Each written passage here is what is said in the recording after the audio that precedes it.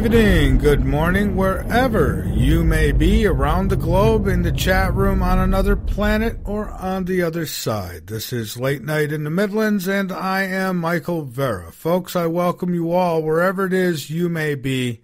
And uh, by the way, this broadcast is coming at you live from the capital city, Columbia, South Carolina, on the east coast of the United States. And yes, we are absolutely live. Folks, I am uh, unable to uh, participate in the chat room tonight, unfortunately. Uh, well, I kind of, well, uh, let's just say a password got thrown on the computer, um, and, uh, well, somebody, I won't mention no names, but somebody doesn't remember the password. And I found out kind of 20 minutes before showtime, so we will uh, we'll get that taken care of, and I will definitely uh, be in that chat room tomorrow. It's just uh, I could run it on my broadcast computer here, but I don't want to do that. I don't want to take any chances of uh, screwing up. Uh, the broadcast itself. So uh, that's always separate for me with the chat room. So, folks, tonight, I'm sorry. I will not be in chat, so I cannot get your questions and stuff that way. So, what I would ask is that if you do have questions or comments tonight, that you actually pick up the phone or Skype and call in. Uh, so that's how, how that's how it'll have to be tonight if if we're going to do this. Uh, so in any case, uh, folks, get over to the website late night in the midlands.com. Go Autumn. uh, get over to late night in the. Become a, become a member and be informed. She feels so bad. Uh, again, I'll mention no names, uh, folks. But uh, yeah, if you could subscribe and donate, that would help us out tremendously. Uh, becoming a late nighter not only helps keep us on the air, but it helps keep you informed. Um, We've already got a newsletter that goes out. Uh, you could get you could sign up for the uh, newsletter uh, on our website over on late night in the midlands.com. I haven't really talked about that much lately, uh, but there is a newsletter and you can, you can sign up, put your email in and, uh, you'll get our latest postings, uh, each and every morning, I think, uh, is how it's set up. And, uh, well, that's free. So is the chat room. Unfortunately, I'm not there tonight. Autumn. But uh, um, yeah, so but there is with the subscriptions. I mean, you get access to the forums, you get access to the archives, you get access to well, you get access to uh, insider videos and well, of course, I'm easily accessible as well. Most nights, anyhow. Uh, but still easy tonight. All you got to do is call in. Um, so Anyhow, I've got some news I want to get into, and so we'll do that now. We'll take our break, and of course, we'll come back with our guest, who, by the way, is David Serrata. Uh, he is going to be with us tonight. Um, he says that he's got some pretty substantial information to share with us tonight, so uh, I'll be looking forward to talking with David tonight. I think it's been a while since he's been on. Might be over a year since I've had David on. See, I'm telling you, folks, we're not like some of those other shows. We don't, you know, sometimes guests don't get back here for a while. It's just because we, I mean, since we've started, we've had such a long list of people. I mean, really, we have. I'm not gloating or anything. I'm just saying that.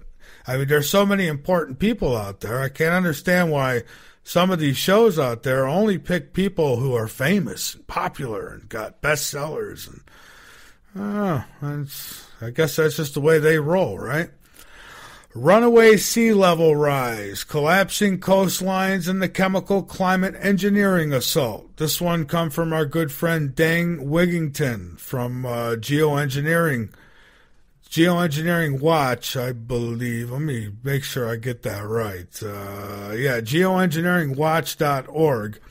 Folks, I have sometimes I have trouble remembering what foot to put my shoes on for crying out loud, and remembering everybody's websites, really. But um, the current condition of the climate and Earth's life support systems is not as bad as we have been told, he says.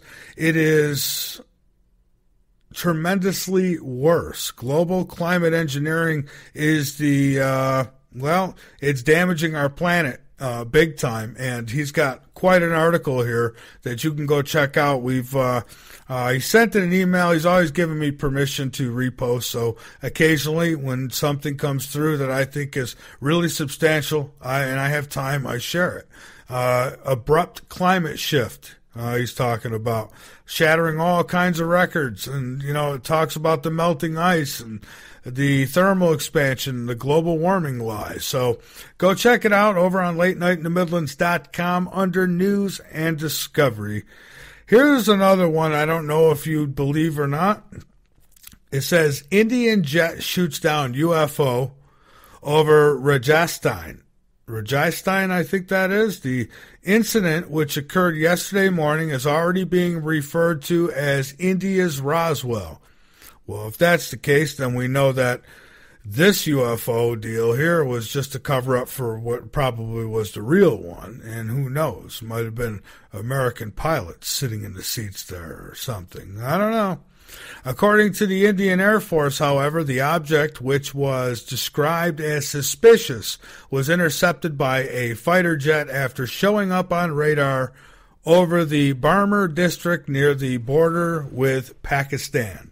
And so they say that uh, the area was later investigated by local law enforcement agencies, which recovered a selection of cone shaped objects from the crash site and sent them to the Air Force officials for analysis. Um, they said between 10:30 and 11 a.m. Uh, on Tuesday, January 26, an unidentified balloon shaped object was picked up by the Indian Air Force, said a spokesman uh, for the IAF radar. Well, of course they're going to say that because that's what they're supposed to say. Now, they are saying, though, uh, people who witnessed this say whatever the object was, it seems unlikely to have been a weather balloon. So here we go. Uh, this time, uh, not in the U.S., but uh, in India a Roswell type incident, balloon, UFO. You know, these stories they, they don't do anything for me anymore. They really don't. Because I mean, all it really does is makes me analyze maybe who's behind it altogether. But I mean, when it comes down to it, I know that there's extraterrestrials, and I know that they visited this this planet. I also know that the various governments, including our own here in the United States, have reverse engineered these technologies and that they have them as well. So, you know, who knows what they shot down? They're, they're going to keep a secret. Free energy. I've said it a long time ago. That one of the big reasons they don't want to tell us about this technology is because, well, then we wouldn't be slaves to the oil companies. That's why. Oh, anyhow, scientists create first monkeys with autism gene in hope of a breakthrough. Yeah, how about that? So researchers hope that genetically creating monkeys, so genetically modified everything nowadays, folks. And people say, "Well, we, we, we would you?" I, we had a conversation today. Would you like to live to the end of the world. I mean, would you like to be alive and see the end of the world? I'm like, I have news for you. I might be alive to see the end of the world. Look what's happening. Genetically modified monkeys with a gene linked to autism will give them a better understanding of the disorder. Well, you know, Here's what I say about this whole thing, and it's linked up on late night in the Midlands.com, so you could go check it out for yourself. I say this, and I wrote this down in, uh, or typed this up in this story uh, for Michael Vera's comment, because some of these, these, when I post stuff like this, sometimes I have to leave a comment with it because I don't want you to think that I don't know what's really going on, because I do. And, you know, I, I wrote here, and I'll say just in my own words, what else have they tested on? Children. That's right. They have. They've they've tested on children. Um, talking about, uh, of course, the um, vaccines and, and the, the ingredients and the strands of whatever that they put in these vaccines. And they cover their tracks every step of the way. Um, but they have. They do it on a daily basis with these vaccinations, through vaccinations. And uh, they say that the results of the autism epidemic now facing as many as 1 in 45 American children. This is according to a new government study.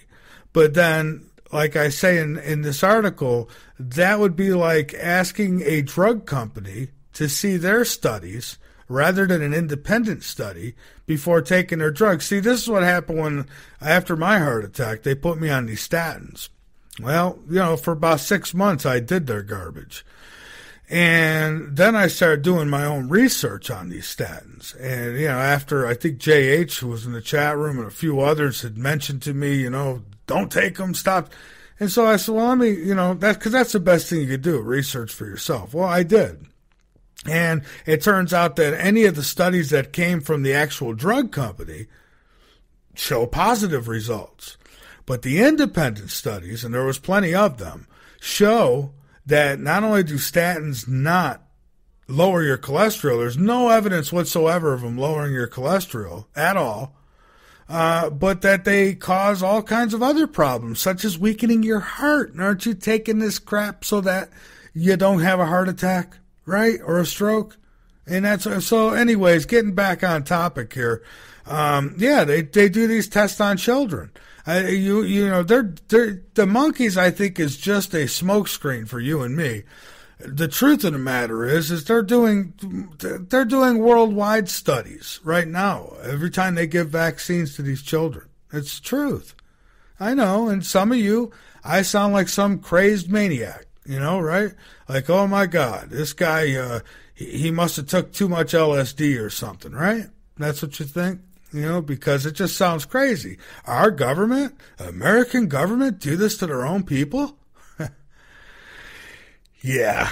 Hey, there's a little pill, um, and uh, they say that it could protect people from AIDS. And there's this one little city um, that thinks that their epidemic of AIDS could be ending because of this pill. And uh, I guess the word it's called PrEP, PrEP.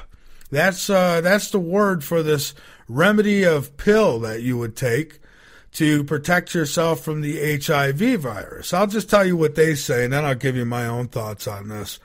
Uh, they say those four letters, PREP, stand for a daily medical uh, regimen in which healthy individuals take a blue oval pill to lower their risk of becoming infected with HIV.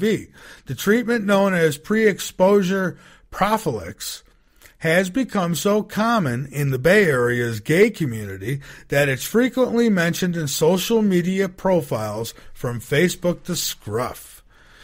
Well, you know, judging by the government that we've had, these alphabet agencies, big pharma, all the evil entities and what they do, I wouldn't doubt if they're putting HIV in these pills. So, you know, really, I mean, you think, uh, well, who better? Here's people who are willing to take risks. They got a little blue pill now they could take, or whatever color it is. Take your little pill and you'll be okay. You can go do whatever you want with whoever you want. You don't have to worry, right? Because, hey, it could give me up to 90% protection. Oops, unlucky me. I must have been part of that 10%. Oh, well, I have AIDS, right? Is that it?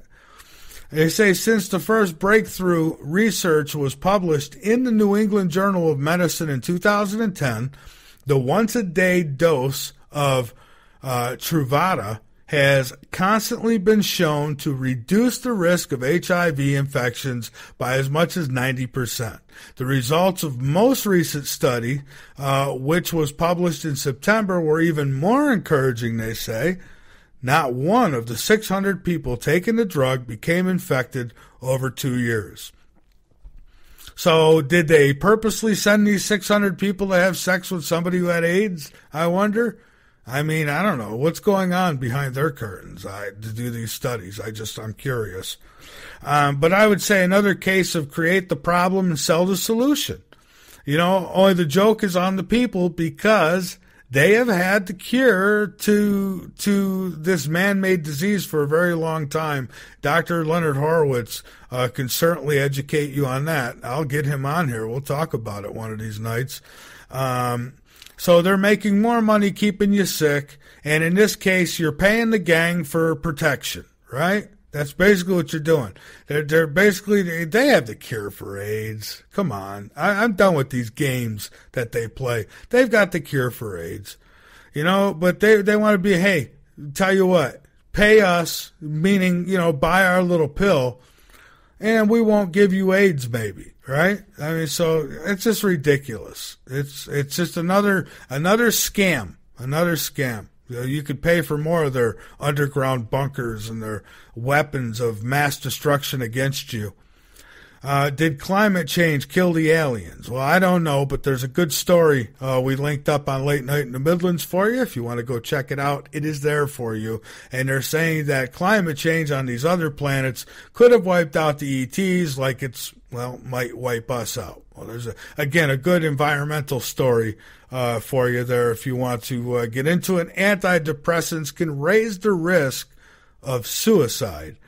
Biggest ever review find. See, now you didn't need a review for this because I've told you, Ira's told you, Ryan's told you, Rascala, uh, Peter Kling, everybody really has told you that antidepressants do raise the risk of suicide in these sick commercials that they play on TV.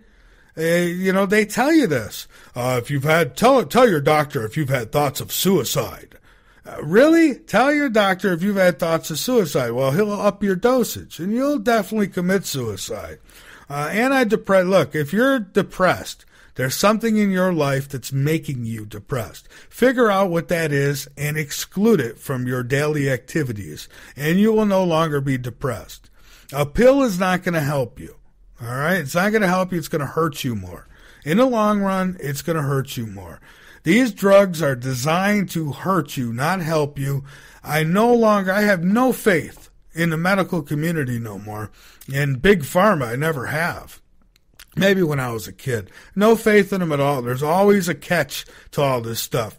Antidepressant. They cause the depression. They're they're probably that's why there's such an uh, an epidemic of depressed people.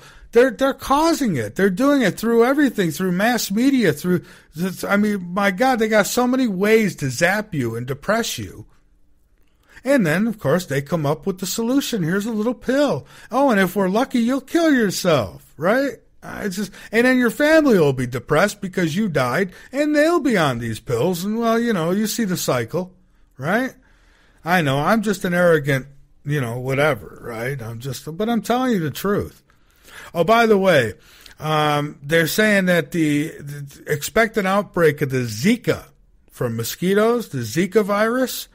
Um, I just want to remind people that back on December 7th of 2012, I came on air and I and I posted on our website a story, and the title was "Florida Scientists Prepare to Release Hundreds of Thousands of Genetically Modified Mosquitoes." I reported on this. I think I actually I broke it open uh, back in December of 2012. I don't think a lot of people took me very serious. I think they, you know, because you get guys like Alex Jones out there, before you know it, you know, you start classifying everybody is, is fear mongering, and no, that's not the case. Okay, I told everybody about these genetically modified mosquitoes and how they were released in parts of Florida, and they were also released in Brazil, and they were released in the Caribbean islands. I told people back in 2012, I said, "You watch, this is going to be a problem," and it is. Massachusetts health officials confirmed the state has its first case of Zika. The Zika virus has similar symptoms to that uh, dengue and another one. I'll try it here, uh, chikungunya, I think it's called. So yeah, it's all the same. And Los Angeles uh, County, Minnesota, uh, they've they've got uh, their first cases of it. Arkansas, Virginia, they've got their first cases of it. There it is. It's it's re- this is an attack this is an attack on America. It really is. And all our neighbors. I mean, really it's attack on the on the population is what it truly is. Zika is linked to babies being born with undeveloped brains. Wow, you think that's an accident? Do you think that's an accident? And you think I'm exaggerating when I say that they experiment on children? This is designed to do this. This is this is no accident, folks. This is genetically modified mosquitoes doing exactly what they were put out there to do. Honestly. And it's spreading through the Americas. By the way, they say that Zika symptoms in adults and children include flu like aches, inflammation of the eyes, joint pain, and rashes, although some people have no symptoms at all. But um, pregnant women at the highest risk because it makes babies uh, be born with undeveloped brains. Isn't that what they want? A population of undeveloped brains. I think I think it is. I think that's what they're aiming for. I'm Michael Vera. This is Late Night in the Midlands. Just saying it like it is, folks. We'll be back in just a few minutes.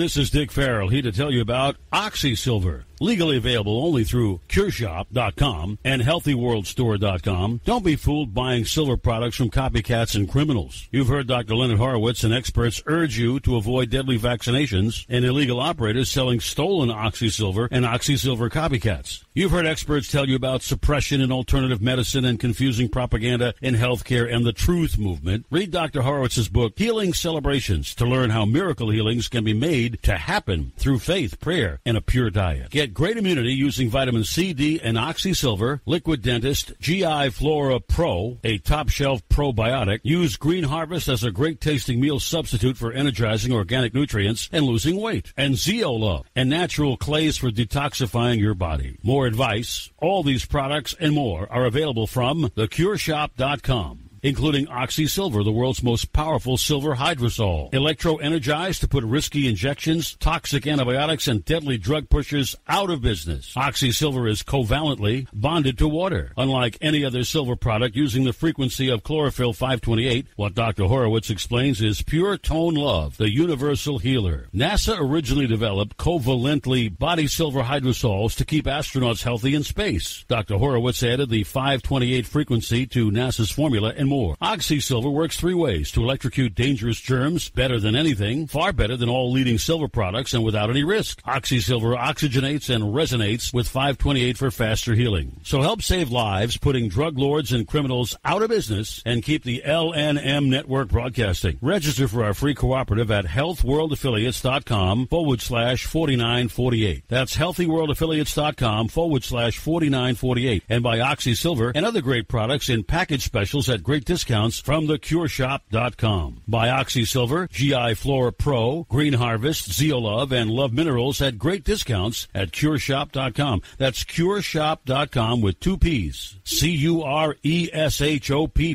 dot com. Or call toll free at 1-888-621-7611. That's 1-888-621-7611. Do it now. Late night in the Midlands. We're building a bridge to the truth and beyond. Share our content and use the hashtag LNM Radio for your chance to win a free subscription. Those who use it at least 10 times a month will find themselves entered into a drawing every month to win a free two month subscription from Late Night in the Midlands. So spread our news, spread our website, and use hashtag LNM Radio. The LNM Radio Network offers a moderated chat room at www.latenightinthe.midlands.com. Just click the chat and listen page from the drop down menu at the top of any page on the website, or click the listen live button at the top of the homepage at www.latenightinthe.midlands.com. Is there proof of God's existence in our government's records? Author Jose Collazo brings his years of research into this stunning question to light with his new book. Discover how new and experimental technologies may change our world forever and uncover monumental proof and answers to mankind's greatest questions in God does exist, no more nuclear testing, and more. You could find Jose Collazo's book, America's New Slavery, on Amazon.com. This show is for the mentally sane and for those who accept an alternate reality to the lie you have been told. If you're politically correct, politically brainwashed, or politically insane, then I recommend you turn the dial immediately and go back to the lies and distorted reality that makes you feel secure in your unsecure life. We cover everything, should not be mistaken for we go along to get along. We are not those other shows who guide you down a dark hall because seeing is not beneficial to their bottom line. No, we turn a light on so you can truly see what lies ahead. We are not alternative, but if we were, then we would be an alternative to the lies, not the news, because sometimes the alternative is no better. We are independent.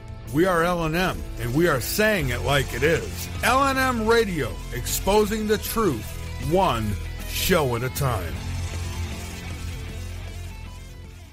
Attention L&M Radio Network listeners. Did you know that when you're on the road with limited data or Wi-Fi available, you can still listen to every minute of the L&M Radio Network by calling 605-562-4203? No smartphone app or internet needed.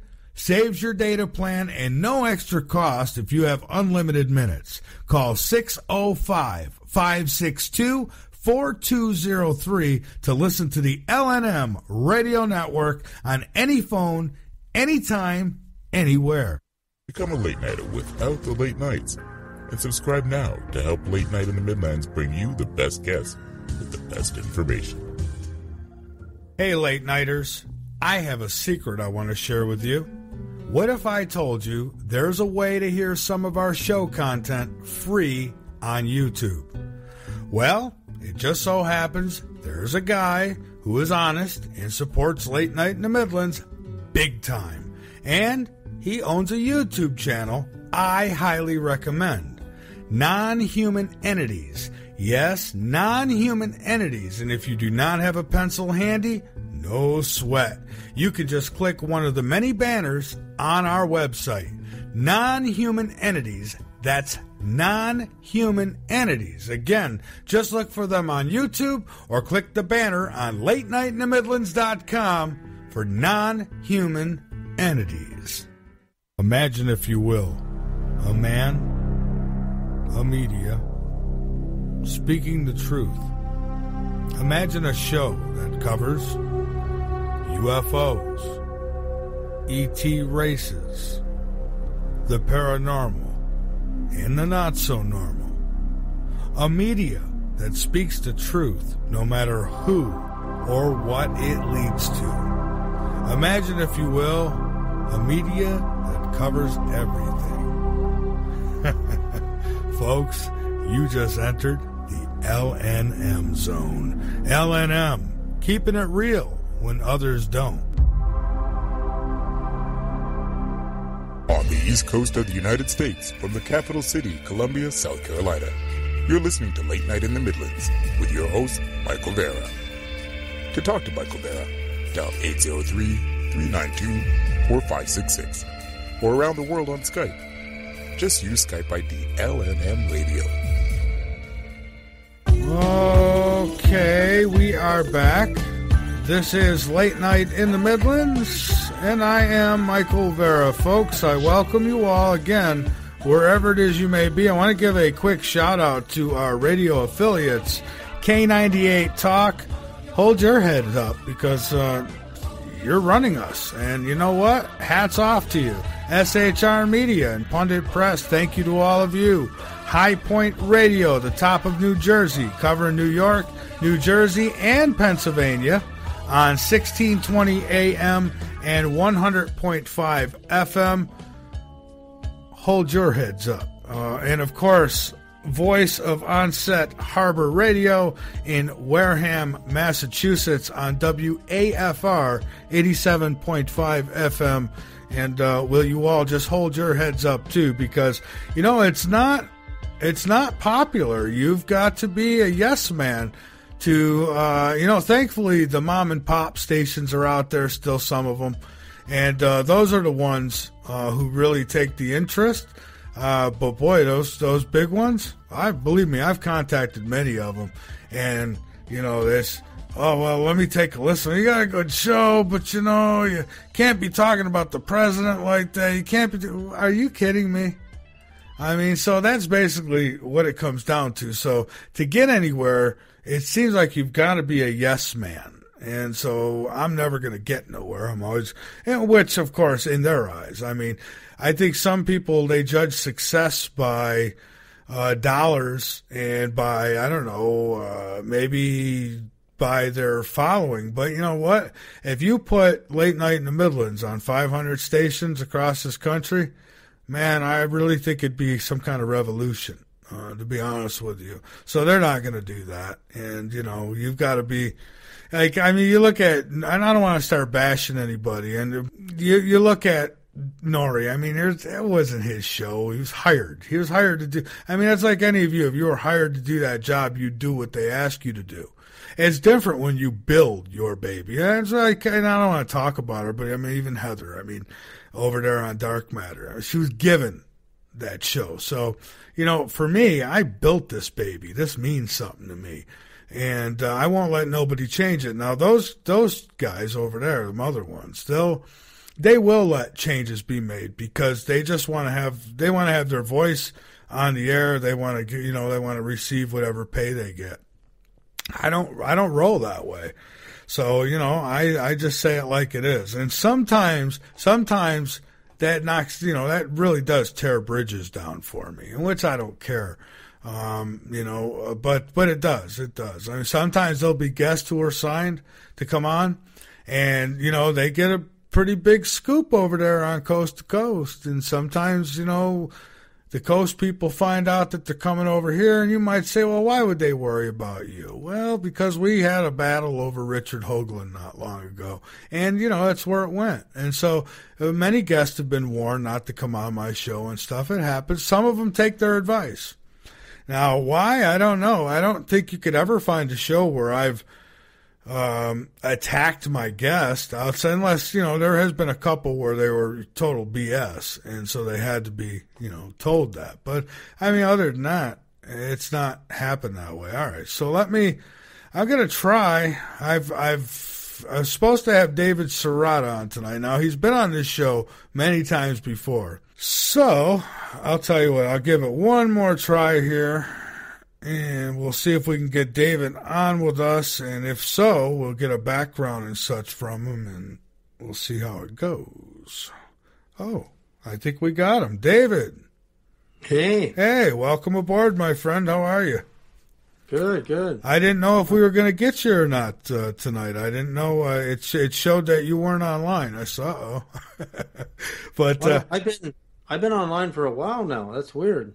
Huh. Okay. Well, yeah. It shows you. It shows that you're not. Maybe it's. Uh, maybe you haven't accepted my um, uh, my my Skype friend request, whatever it is there. Uh, maybe that's. Oh, L N M. Yeah, there was one that. See, if you don't put anything in the subject line, I I can't tell. Oh yeah, yeah. Who I, it is. I understand, but uh, hey, I, I welcome you aboard. It's been a while since you've been on, and Oh uh, yeah, long time. Yeah, it has been way too long, uh, David. So uh, I thought maybe we could start out with a little bit of background. Um, I kind of foiled on the on the uh, bio here because I didn't. I, honestly, I didn't see on there, so I didn't think I didn't know if we were going to get you uh, right away. So, but uh, welcome aboard, and, and yeah, a little little background, and then you said that. Uh, that you had some new astounding information, so maybe we can get into that too. Yeah, I've been, you know, my background really it, it goes all the way to the 1960s when I was growing up in the San Francisco Bay Area and I saw a flying saucer with a massive impact. All the people were going crazy on the streets over it, and um, I started having contact with the ETs behind sleep who were from Pleiades, and they started showing me how the craft worked from the inside. And And you have to understand that in those days, there was no such thing as ufology for kids where you could just go, hey, you know, I, you can come and talk to us about your experience. I mean, we didn't have the X Files. We had My Favorite Martian, which was a, which was a comedy. I remember that. It's one of my favorite shows, actually. I, in fact, my uh, my little daughter, who's five now, watches um, My Favorite Martian with me from time to time. It's a pretty funny show. So it, it all starts from there, and then by the time, you know, I, I grew up in the Bay Area during the '60s and the riots and the Vietnam protests.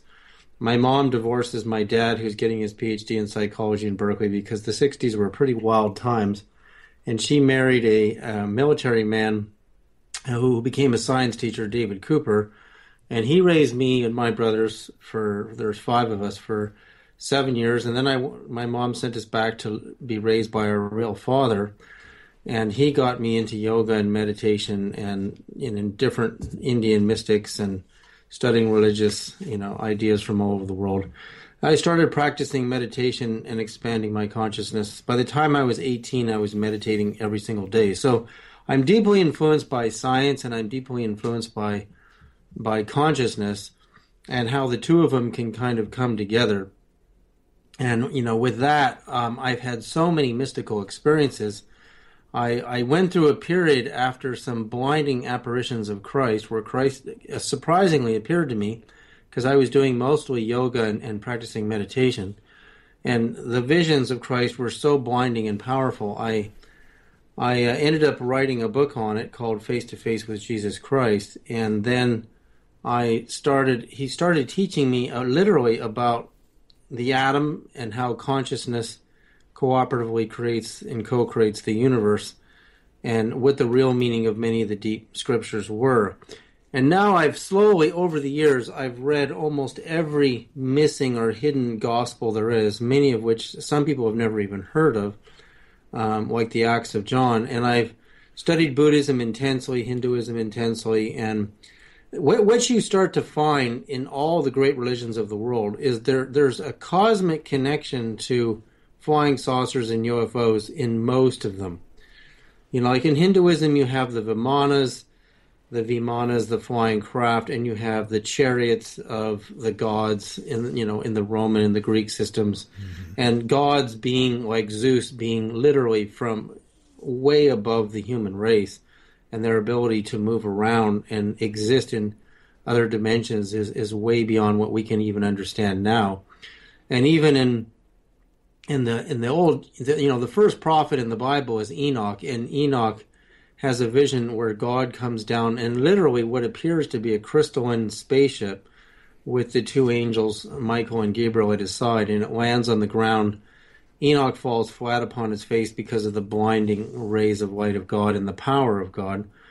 And um, and you know, from from the point of of this particular God, I mean, I, I think there's some confusion in the translation about who is the real true God. And and who isn't, and who who are the gods in the Old Testament of war and who are the gods of peace. And they really got fused together into one personality, and that has caused huge controversies in what the God of the Old Testament really advocates. And I, I think a lot of the ideas of religious and holy wars come from the misunderstanding of who, interpreting scripture and old old writings and who's really talking to the real God and who isn't. Well, I'll, I'll, I'll, be honest yeah. with you, David. When I when I look at uh, you know the the uh, Holy Bible and I, I read some of that stuff, it really sounds like a really angry God.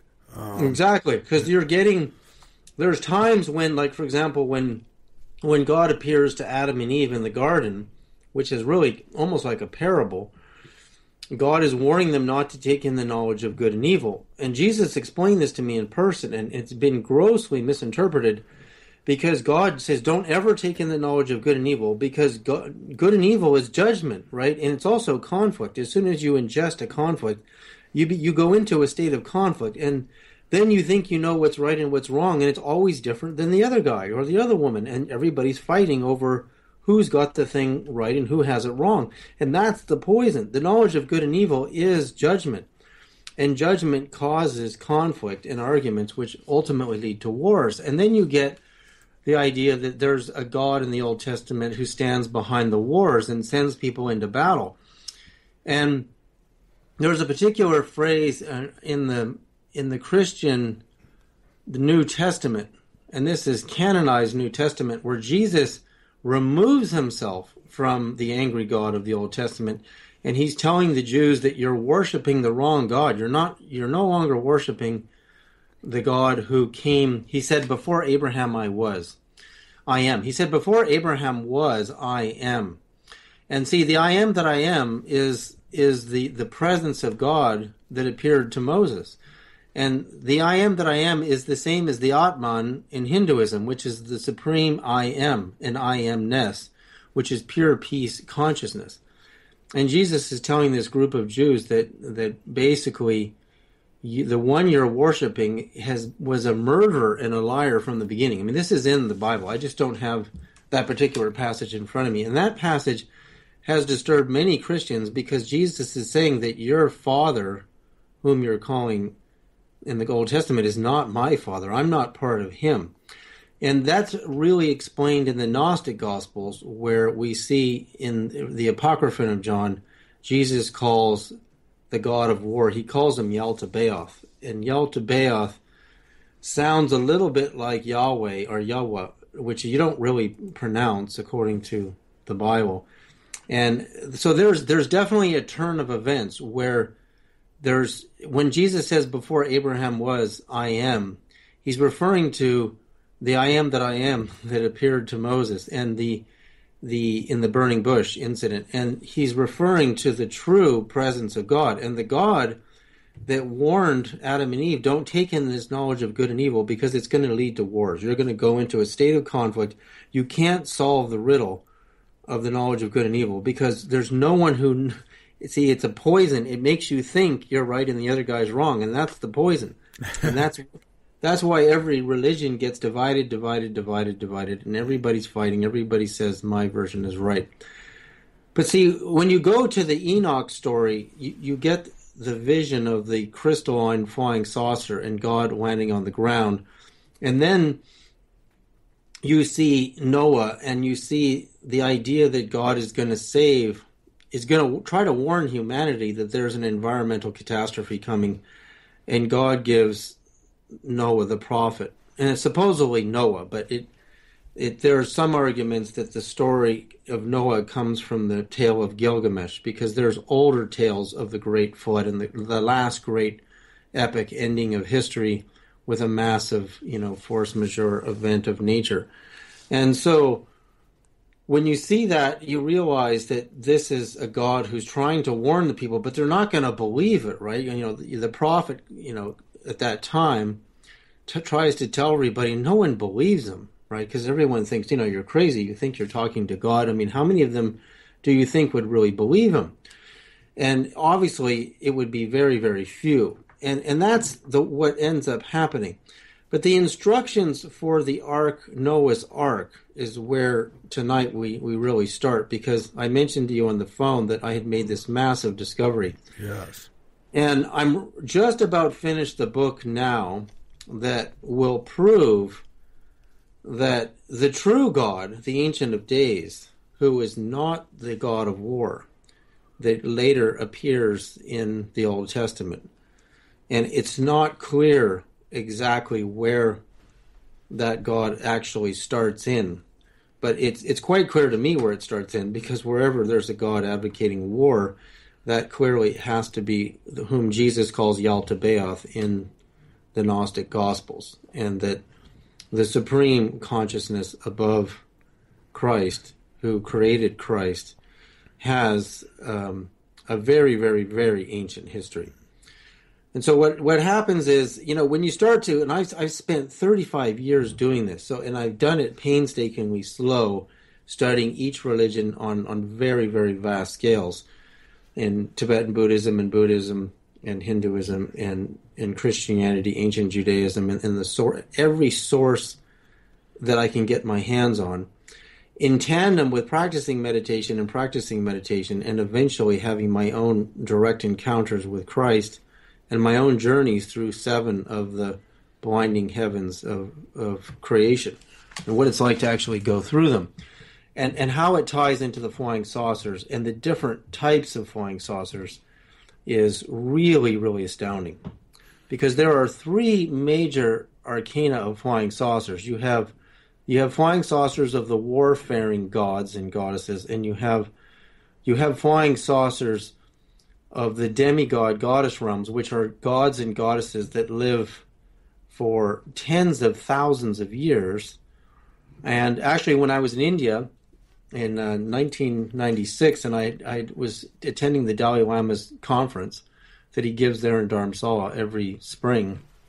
He was, you know, we were we he was speaking in the Tibetan language, and there were translators, and you had these radios with these earpieces in your ears, and his his um, lectures were being translated into multiple languages, and you had to select your channel for the English language.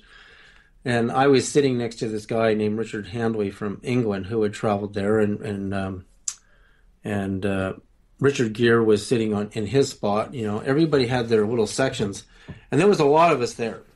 And the Dalai Lama was telling us that literally, seriously, if you should ever meet a god or goddess from another world, and and how you would meet them is not in a vision state, but actually meet them, which would have to mean they came in some sort of vehicle he was telling us just to beware they appear far greater than us and don't worship them as gods, but you know, befriend them, be kind to them, you know, do the Buddhist thing, which is to be peaceful and kind to your neighbor.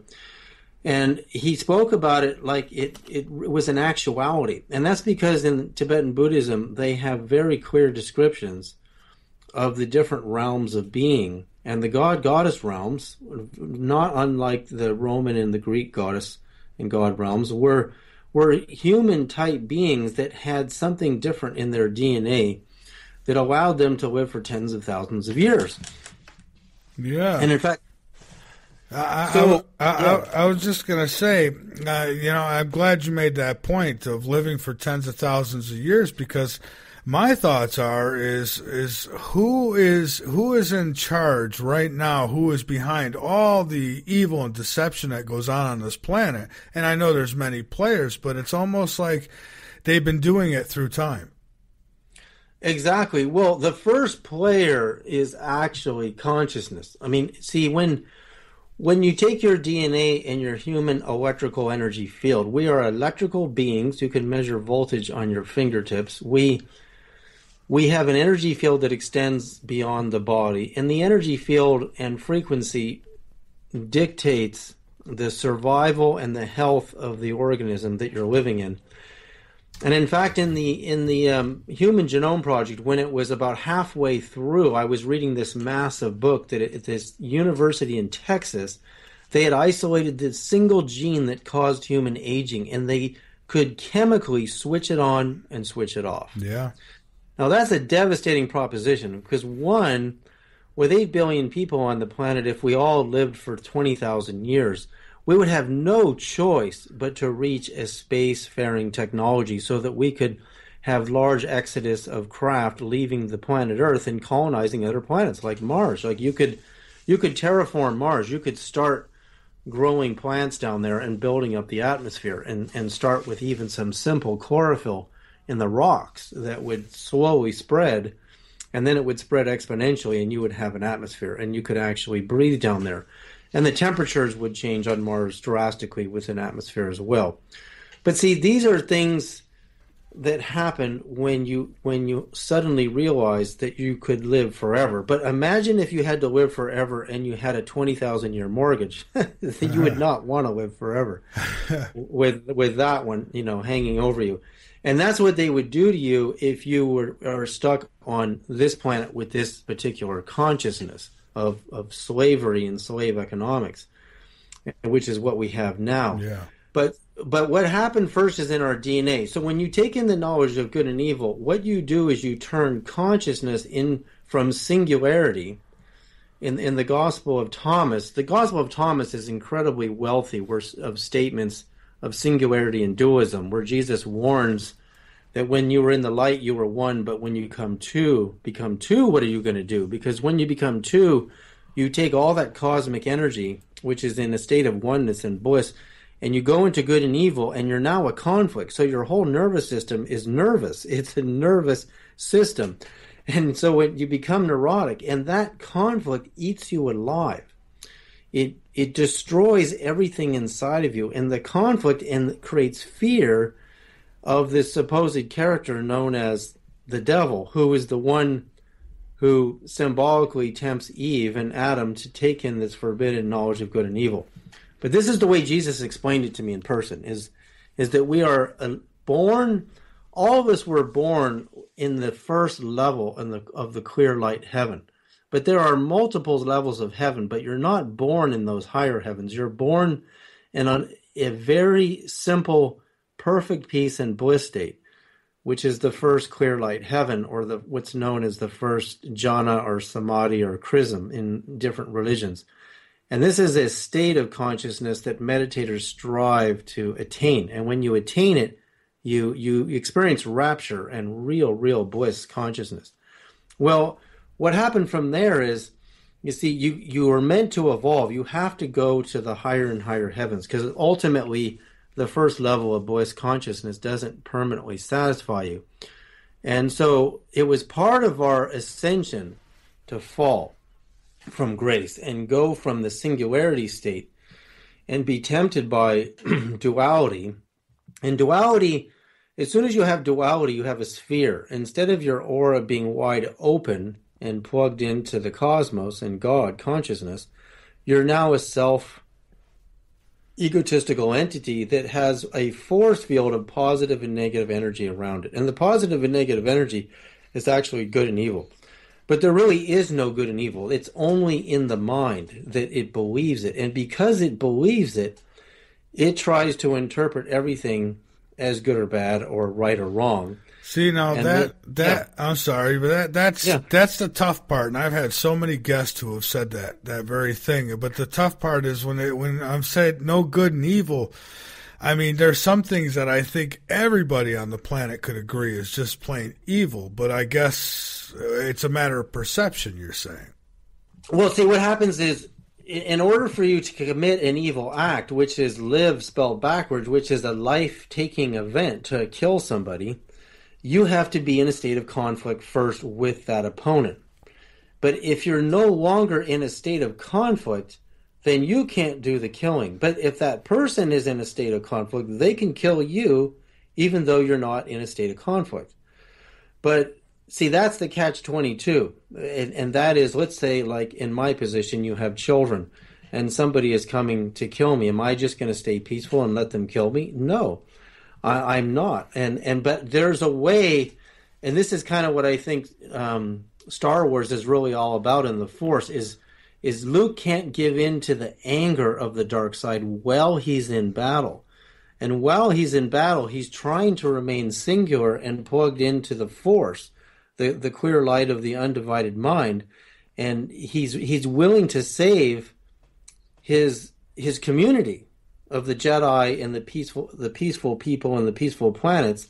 And therefore the, the force supports him to be faster and better in battle, but he's not out looking for a fight. He's not out looking to conquer yet another territory in another territory. He's only there to defend what is good. And so that that's a true warrior, somebody who can be in singularity and will never use violence unless it is an absolute last resort to save the boundaries of the community or the country. right?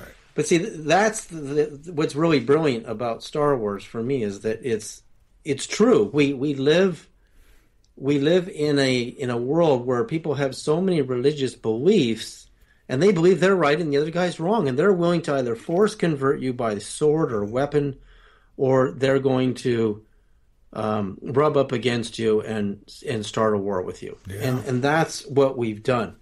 And so those the consciousness of violence as soon as duality becomes not just a playful argument or not a creative debate argument what it becomes is is very very serious. Then we our consciousness doesn't reach the place where we can develop propulsion systems that can reach the speed of light and beyond and and it's really brilliant the creator I mean, it's really amazing when you think about like what are the distances between even our own planets. What a hard time we're having, you know, sending humans to Mars. Like this is this is big stuff, let alone another star system. How brilliant does your mind have to be at creative insighting to figure out that technology? You see, the mind won't have the insight if it's stuck in this lower consciousness of duality. So the universe made it that way. If, if you don't reach singularity, you're not going to know how to go to the next level of, of propulsion and flying saucers. And the next level is the gods and the goddesses. And they're the gods and the goddesses, and, and there you see them in Hinduism, Buddhism, you actually see them in, in mystic Christianity and many, many hidden gospels like the Gnostic gospels. And they are more concerned with living in paradise and enjoying life in a much a very organic way than they are concerned with wars. But from time to time, the demigods, goddesses, do have to fight wars to defend their territories, but that's not their motive. The, lo- the lower consciousness um, civilizations, their, their main focus is military industrial complexes and war.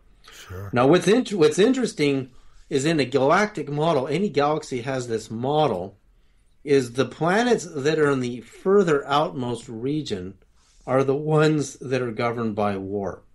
And the ones in the mid region and our Earth and solar system is just on the edge of entering the mid region. They're the realm of mostly pleasure and gods and goddesses, and, and everyone's living very long lives and there's not a lot of conflict in their DNA, but there's there's still a little bit, and so they're going to live for, you know. And the Dalai Lama told us this in India. He told us how long they live, and it's quite stunning. It's in the realm of thirty-five or forty thousand years. So, and then above them, you have the clear light super beings in you know the super luminal bodhisattva beings in Buddhism, and you have, you know, like even recently in Buddhadharma magazine this is only a, a couple of months old uh, um, um, edition. Mm-hmm. There's very clear and rare descriptions of the Buddha, and the Buddha, when when the disciples came close to him and looked at his hands, there were wheels within wheels spinning inside of his hands. His eyes were blue, and his skin was so white that it apparently you couldn't even see a single speck of dust upon it. Like there was something strange about his skin. It, it wasn't normal. And he appears to be Aryan because he has blue eyes, long black eyelashes, and his body is unlike anything anybody's ever seen. And Buddha had the ability to open up with his mind. He could cause his disciples to suddenly see the realm of the gods and the goddesses and their flying vehicles and their where they live and then he would just close it up after he gave them a lesson and he would say this to them that that's not your goal to live with them. Your your goal is to reach the, the, the illuminated state of being and to meditate and transgress the seven levels of samadhi and the seventh samadhi or chrism in Christianity or what Muhammad attained in Islam was the seventh level of the light. Then you're you're enlightened. You're enlightened. Nirvana begins at the seventh level, and there's even higher levels. There's eighths and the ninths in, in Buddhism. And those beings are super, super powerful. They're amazingly powerful. There's probably no chance of most humans today ever coming anywhere near a being at the level of even a Buddha or or you know let alone some of the other beings out there because they they get more and more and more powerful. And, and and, these were beings, right? I mean, these were these were actual flesh and blood type sure. ETs they're they're flesh and blood type beings, but they because of their powers of concentration and meditation, they become light beings that can dematerialize their physical body. Like the, the Tibetan Buddhists say that Milarepa and many masters would just leap from mountaintop to mountaintop. It was like they just their body just flew through the air and would go from mountaintop to mountaintop in the Himalayas. They were they were super powerful. And you know, this is the stuff of fiction for us today because we live in a civilization where you know, we're interested in machines, we're interested in how to get to Mars and the moon, but we can't even imagine what it means to vibrate at different frequencies and land on a planet and have not have the temperature of that planet be a, a problem. Like literally there is a, there are good documented examples in archives in the Catholic Church of monks walking into burning furnaces with their brown scapular robes on, and their robes don't even burn. Their skin doesn't burn. They're barefoot. They walk into a furnace, and they move a couple of logs around in there, and they spend a long time in there, and they just walk right out, and the temperature didn't do anything to them. So they become through the power of meditation like superhuman so when you imagine, you know, when NASA says, well, you can't live on Mercury, you can't live on on this planet because the, the temperature is too cold or too hot, you know, that doesn't matter when you understand frequency is temperature. The higher the frequency, the higher the temperature. So if you raise your frequency, your body goes into a high frequency state, and therefore high temperatures are not going to affect you at all. If you if you go into a lower frequency state, then the low temperatures won't bother you at all. So you're basically free to move around. So there could be beings on Venus. I mean, Tesla literally said that he, when he pointed his early radio um, arrays at Venus, he wrote in letters that he was receiving radio messages, what appeared to be intelligent messages from Venus. And NASA says to us now, you know, Venus has sulfuric acid in the sky and there's no way anybody could live there. And so, th- and then again, that's considering that they're exactly the way we are. So then we can actually go, say we did go to Mars.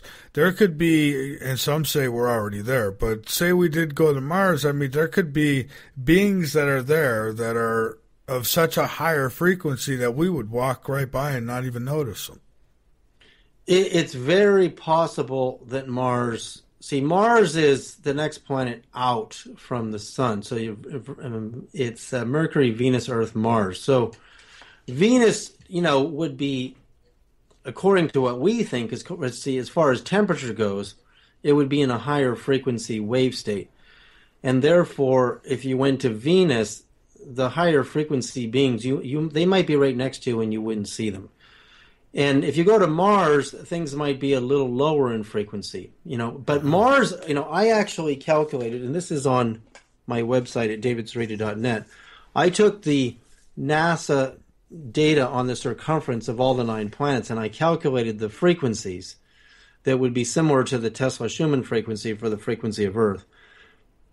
And I counted the frequencies of all the nine planets, and they all correspond perfectly to the five major human brainwave states of consciousness, from D delta to theta to alpha, beta, and gamma. And Mars is alpha; it's upper alpha, and it's a the alpha state is a very coherent state in the brain. And that's just the frequency at the equator of Mars. And then as you get near the poles of any planet, the frequencies, there's a whole scale of frequencies on each planet. So I mathematically scaled all of the nine planets um, and and did their frequencies. And for example, like one night, this was right when we were um, we were flying by Pluto, and I decided to do the frequencies of Pluto because I really wanted to see it in consciousness. And I started drifting. I started transmitting the frequencies of Pluto into my consciousness with one of my light stream wands and I suddenly I saw Pluto, but I was on the back side of it, and it had colors that I can't really describe because they're not colors. They're not tones of the familiar colors that we understand, but they are within the spectrum of the colors we understand. And then I saw an atmosphere around Pluto, and I said, "What? How could Pluto have an atmosphere?" I said, "This is impossible." And I woke up in bed, and I said, "That's impossible."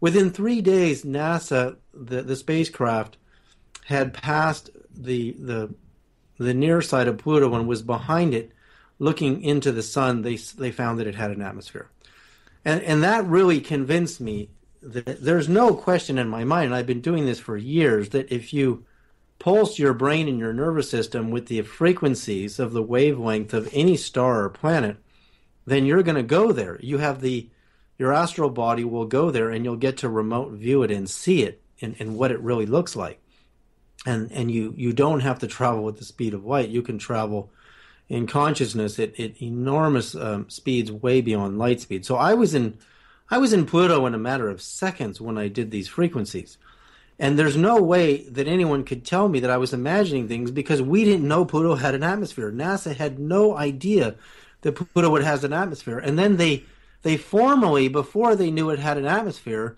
they had removed it from the list of the nine planets and said we only have eight planets. But technically, if it has an atmosphere, it's a planet. It's not a it's not an asteroid. Then then would Planet Nine, this uh, new discovery of theirs, well, then would that be the tenth planet? That would be the tenth planet that Sitchin is talking about because the the the new ninth planet that they're talking about is going to have a very long journey around the sun, which is exactly what Sitchin said.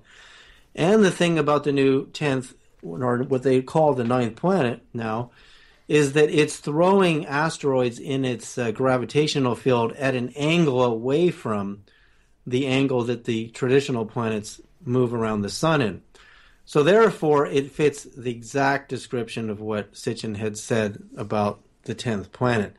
So it could be it. And it, it's also possible that some of these very distant planetoids like Pluto and the 10th planet have an internal heat source, thermal heat source, that allows beings to live there and survive on radiations from their core and until it gets closer and closer to the sun again.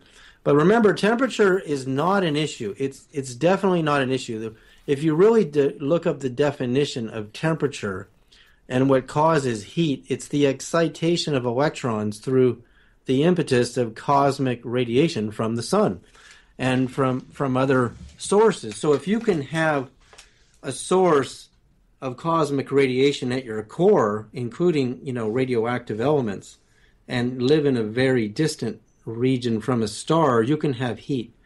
And it's even possible that you know, when I was first looking at some of the images coming from Pluto, that there could be um, there could be ETs that are have built bases underneath the ice, just like an Eskimo, for example, can build an igloo and stay warm enough in it in the you know in the Arctic region. So yeah, so so temperature I mean, nature has a way of doing this. In fact, even I even discovered like I had this experience where I was pulsing my body with frequencies of Pleiades, and in in that night, this little girl appears in my dream, and she tells me this isn't what I really look like. She goes, "You you couldn't really handle what I really look like," but she showed me a couple of vials of these little. They look like Fruit Loop colored lights that were spinning around in this jar of water and she said, when we did scouting missions to Spica, and I'd never heard of Spica, I, am not a very well educated astronomer, that there's a star in Virgo called Spica. Spica. I didn't know that. I mean, I knew classic stars like Sirius and Pleiades, but I didn't sure. know there was even a Spica. And this little girl is telling me this that when we went to Spica, we discovered super water. And when we started drinking the super water, she told me we gained the ability to quantum leap with our bodies through space time, and we didn't need our ships as much to make very long trips. So they could just physically dematerialize and reappear. So I woke up that morning, and because she told me that basically when they their ships were appearing, which they appeared to me in Berkeley in 1968, they appeared to Billy Meier. They said our ships were under attack. They went under radar, and they said once our craft are in your atmosphere and we materialized, they're subject to being destroyed and they don't want to be destroyed. So, but they do like our planet. And she said, we found that we could park our ships very far from the Earth and they could just quantum leap their bodies in. But they needed this stuff called superwater. So, first of all, I Googled Spica to see if there was a star called Spica. And to my surprise, there's a star in Virgo called Spica. And, and second, um, you have to understand that there are certain civilizations of ETs that have reached the status of demigod goddess realms, and their ships can move around the, the local star neighborhood. They can't go from galaxy to galaxy like the super angelic or super luminal beings can, but they can go to the different fixed stars. And so when they when they were scouting in Spica, they found super water. So I googled super water, and and I found you know, you can't find everything on Google. Don't rely that the whole everything that humans know is on Google. And a lot of people do that. but nevertheless, I found papers on on uh, astronomy university and, and astronomy websites where NASA had detected super water, and some of the super water they detected was near black holes. And when when you understand that the higher the frequency, when you get near X-rays and in, intense X-rays, the temperature is millions of times hotter than ultraviolet radiation from the sun. Millions of times. X-rays are millions of times hotter than ultraviolet rays, but our sun puts out X-class flares from time to time, but most of those X-rays don't really reach us. They, we don't get X-rayed in our bodies because the atmosphere protects us from most of it. We get a very tiny, weak amount of those X-rays coming right down to the Earth. I mean, if we got a lot of them, we would all be mutated. Right. So, so what happens is, is NASA is seeing superwater, and it's defined as superwater because it's surviving the radiations of these X-ray regions and super high frequency regions of of you know stars and and galaxies. So so there it was superwater. So what happens if you drink the stuff, and how do you get it? And so I, what I did is I started. You know, we used to distribute a movie called Water: The Great Mystery, and they found researchers from England and Russia and Masaru Emoto found that water responds beautifully to whatever the impetus frequencies are, including consciousness and thought. And therefore, I thought, how can I get super water? How can I make it? And I would get, I would even put um, a glass of water next to my one of my mantra transmitters and pulse it with the Pleiadian frequencies and drink Pleiadian vibrated water.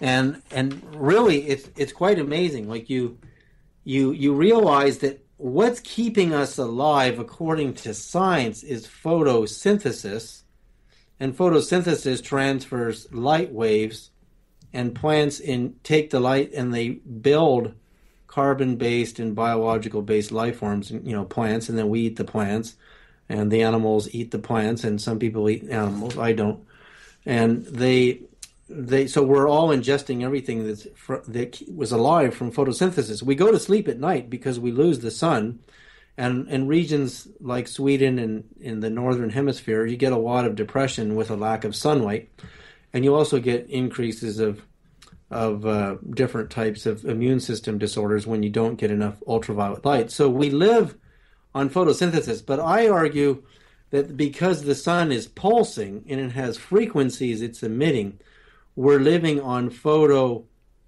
frequency transmissions because frequencies actually generate geometries and structures which are the basis and the building blocks of everything on the earth. Like the sun creates the elements on the periodic table and and not just our sun but other suns and stars are, are generating this stuff all the building blocks on the periodic table, and those building blocks on a on a molecular level are all sacred geometries. They're all different types of geometries. So there you have the main power is what I'm saying is coming from our sun. Our sun is far greater than anyone can imagine, and the freq when we took the frequency recording from NASA of the sound of the sun, NASA actually was collecting data signals from a satellite from the signals coming from the sun and they sped it up and they made a recording of it and we pulsed water with the frequencies of the sun and they they did photographs for me in Russia before and after with Russian tap water and after the sound of the sun and it was a miraculous restructuring of the water. Really? So and when you look at the photograph before and after the sound of the sun, you go, "My God, this the water before looked like garbage. Now it looks like the most beautifully restructured water in existence." And that technically is what was happening on Earth before we started introducing electricity, radio stations, microwave towers, cell phones.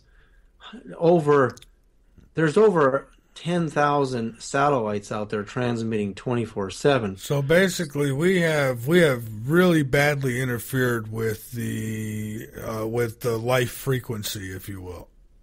Exactly good good answer. We we badly damaged our own organism and therefore I found the only solution is to reintroduce those natural harmonic frequencies having a transmitter in your house, which I build and sell on, on my website, and you can transmit the sound of the sun in your house to regenerate your smoothie in your body.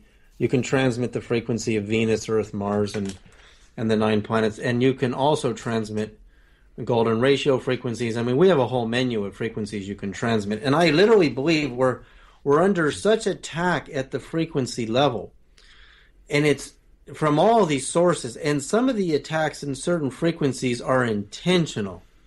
Now, if you look, have you seen um, the new X Files yet? Have you watched it? I absolutely have. And David, we've got to take a break here, so I think that's a great place to, to hold off. And and yeah, we'll talk about that as soon as we get back. So hang on with us. Uh, I most certainly did see the X, new X Files, and uh, I loved it. And so we'll talk about that when we come back, folks. I am unable to get in the chat room tonight because, well, because that computer is kind of locked up right now. I will, uh, it's the better computer, but, uh, I've got to get, get in it. I just didn't have enough time, uh, tonight to, uh, mess around and, and override the password. So, uh, folks, so I won't be in there. But if you want to get in touch with us, okay, I can't get your questions from the chat tonight unless Ira relays any of them to me. But what I can do is open phone lines for you at 803 392 4566, or you can call. It's totally free. Skype to Skype us. LNM Radio. We'll take calls after the break.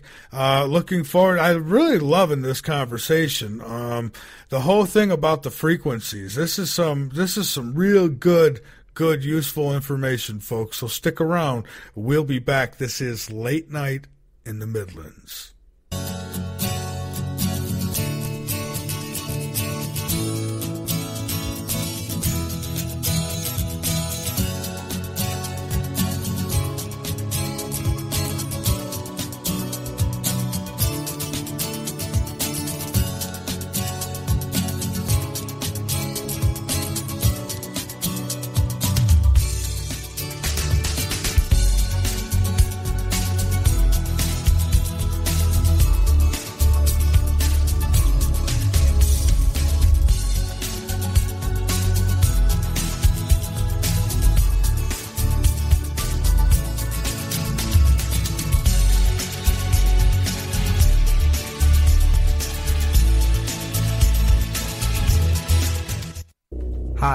I'm Joshua Vara, and I wanted to inform you that Late Night in the Midlands is offering limited on air advertisement. With 30 and 60 second spots available, or inquire about placing your banner ad on the LNM website.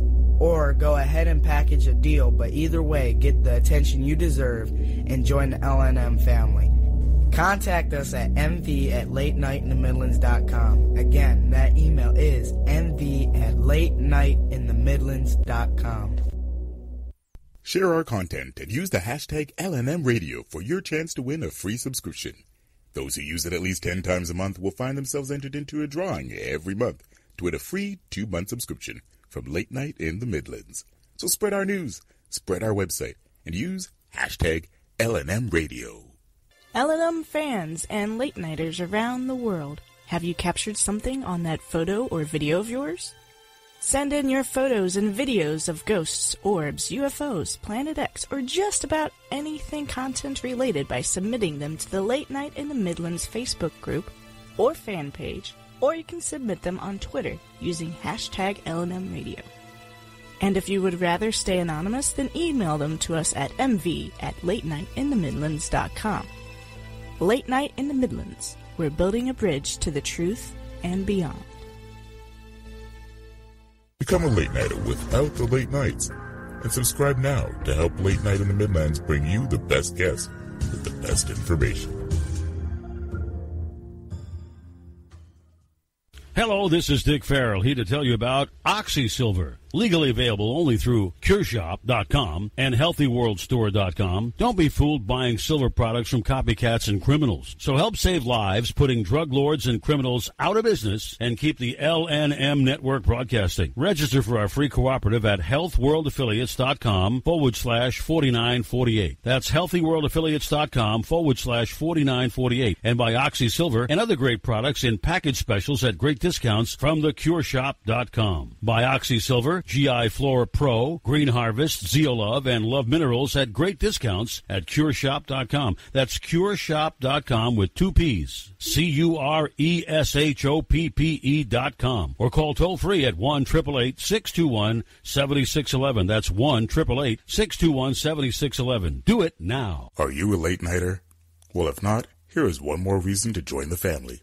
We have added the Late Nighters Forum to LateNightInTheMidlands.com, and it is open for discussion of our many topics and guests. Now you have a place where you can share your thoughts and ideas with the entire Late Nighter community. So become a Late Nighter by subscribing on our website, LateNightInTheMidlands.com, and start leaving your mark on the Late Nighter community now.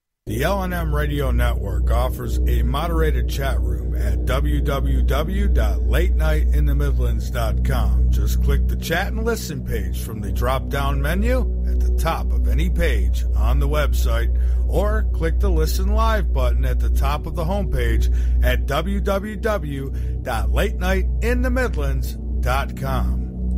Attention LNM Radio Network listeners. Did you know that when you're on the road with limited data or Wi-Fi available, you can still listen to every minute of the LNM Radio Network by calling 605-562-4203?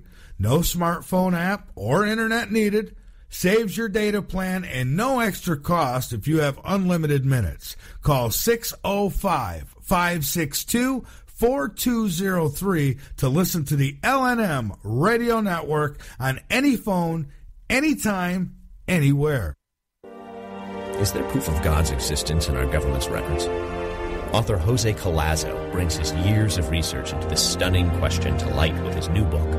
Discover how new and experimental technologies may change our world forever and uncover monumental proof and answers to mankind's greatest questions in God does exist. No more nuclear testing, and more. You could find Jose Collazo's book, America's New Slavery, on Amazon.com. Imagine, if you will, a man, a media, speaking the truth. Imagine a show that covers UFOs, ET races, the paranormal, and the not so normal a media that speaks the truth no matter who or what it leads to. Imagine, if you will, a media that covers everything. Folks, you just entered the LNM zone. LNM, keeping it real when others don't. On the east coast of the United States, from the capital city, Columbia, South Carolina. You're listening to Late Night in the Midlands with your host, Michael Vara. To talk to Michael Vara, dial 803-392-4566 or around the world on Skype. Just use Skype ID LNM Radio. All right, folks, we are back, and I promise you, uh, we are not laughing at all because um, this really isn't a laughing matter. It's more of uh, a matter of life and death when you think about it. I mean, the big picture, uh, it really is. I mean, you've got to understand who you are, what you are, where you've come from, where your history's come from, and where it's all heading. And so we'll talk about some of that tonight, uh, folks. And uh, if you're losing your religion, that doesn't mean you've lost your uh, spirituality. And you know, to keep this spirit, this LNM spirit going, what we do is we ask for you to become a late nighter so that you can have late nights without the late nights. It's that simple. You keep us on the air, and we continue to uh, help you realize, I don't know, uh, expanding your mind and certainly getting to the truth because that's what it, that's the most important thing. Uh, when it all comes down to push and shove is getting to the truth. And that's what we try to do here every single night on Late Night in the Midlands. And we're doing it tonight with David Sereda.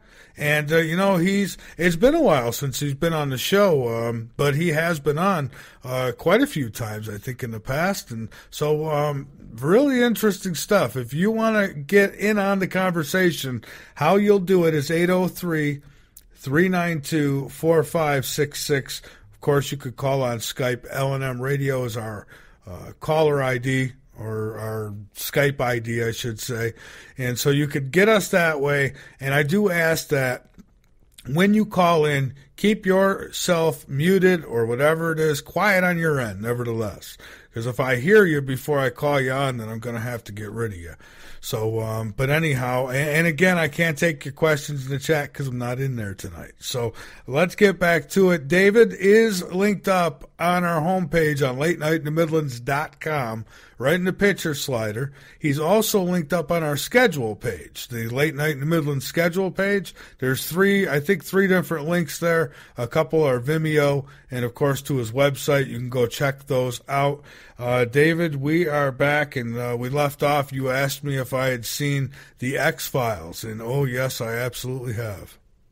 Yeah, it's you know I I saw them online on the Fox website, and you know one day I'm in LA and I get out of my yoga class at the Steve Ross yoga class, and there's Chris Carter and David Duchovny sitting there. And I said, wait, I got to get you a copy of my Evidence the Case for NASA UFOs DVD. And I ran to the car and got one. And I handed it to David Duchovny, and he says to me, You know, I don't really believe in any of this stuff. I said, What do you mean? and I didn't know that was Chris Carter sitting next to him. But actually, my my brother Tim was married um, to Kathy Gilroy, and and her mom is producing this uh, new series. And Kathy Gilroy worked with Chris Carter on Millennium, so there was there were a lot of connections to him, and it's amazing that he's he's never really tuned into my work. But I'll tell you a fun X Files story. My friend Michael Mann, who's a location manager in Los Angeles, he was given the job to scout the location for the very first episode, and I went with him on the location scout in the San Bernardino Mountains. We came to this town and we go into this cafe and we tell them what we're doing the, and the people in the cafe said there was a huge UFO sighting here. Everybody saw it. The farmers saw it. And it was this big craft that came down in the valley. And Michael Mann had loaned his entire UFO library to Chris Carter and Chris Carter wouldn't give it back to him. when they moved the whole show to Vancouver and Michael Mann was no longer the location manager, he wanted his library back. And Chris Carter didn't know anything. He took a crash course in ufology and was reading everything he could get his hands on. And finally, Chris Carter gets a call from MGM because Michael Mann's dad was Daniel Mann, who directed Elizabeth Taylor in Butterfield 8. And he gets this call from the, the studio that this is Daniel Mann's son. You got to give you got to give all his books back, Chris. so there's a funny little story and how it all began. I mean, that's literally the very beginning. And um, and my brother Tim works in the film business in Vancouver as a as a uh, production manager and first AD, and he's worked on a lot of these shows. And so it's the actors don't necessarily resonate with what it is. I actually think Dana Scully, who's the skeptic, is the one in real life who who resonates more with the material. But there's no doubt that Chris does. I mean, look what he's saying. I mean, first thing, the first thing you have to understand is that you see, our I know this because I sat down with Glenn Seaborg, who chaired the Atomic Energy Commission under Kennedy, Johnson, and Nixon. And and Seaborg was working in the Advanced Physics Corporation in Irvine, California, and I worked there with Bogdan Maglich helping him try to get his big nuclear fusion, non radioactive nuclear fusion project into the next stage of development. There was $25 million spent on this fusion reactor.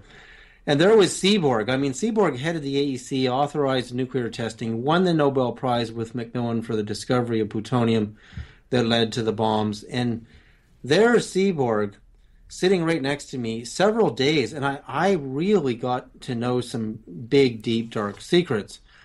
But one day I was sitting with him in the Lawrence Berkeley National Lab up at Berkeley with his assistant Albert Ghiorso, and I told him about my UFO sighting right there. Then I said this lab would have had a perfect view of the UFO in 1968 that I saw, because everybody on the street was going crazy over it, and he he was really kind and he said, you know, we're not working on anything like that yet. With 37 levels above top secret, Seaborg had, I was told by his assistant.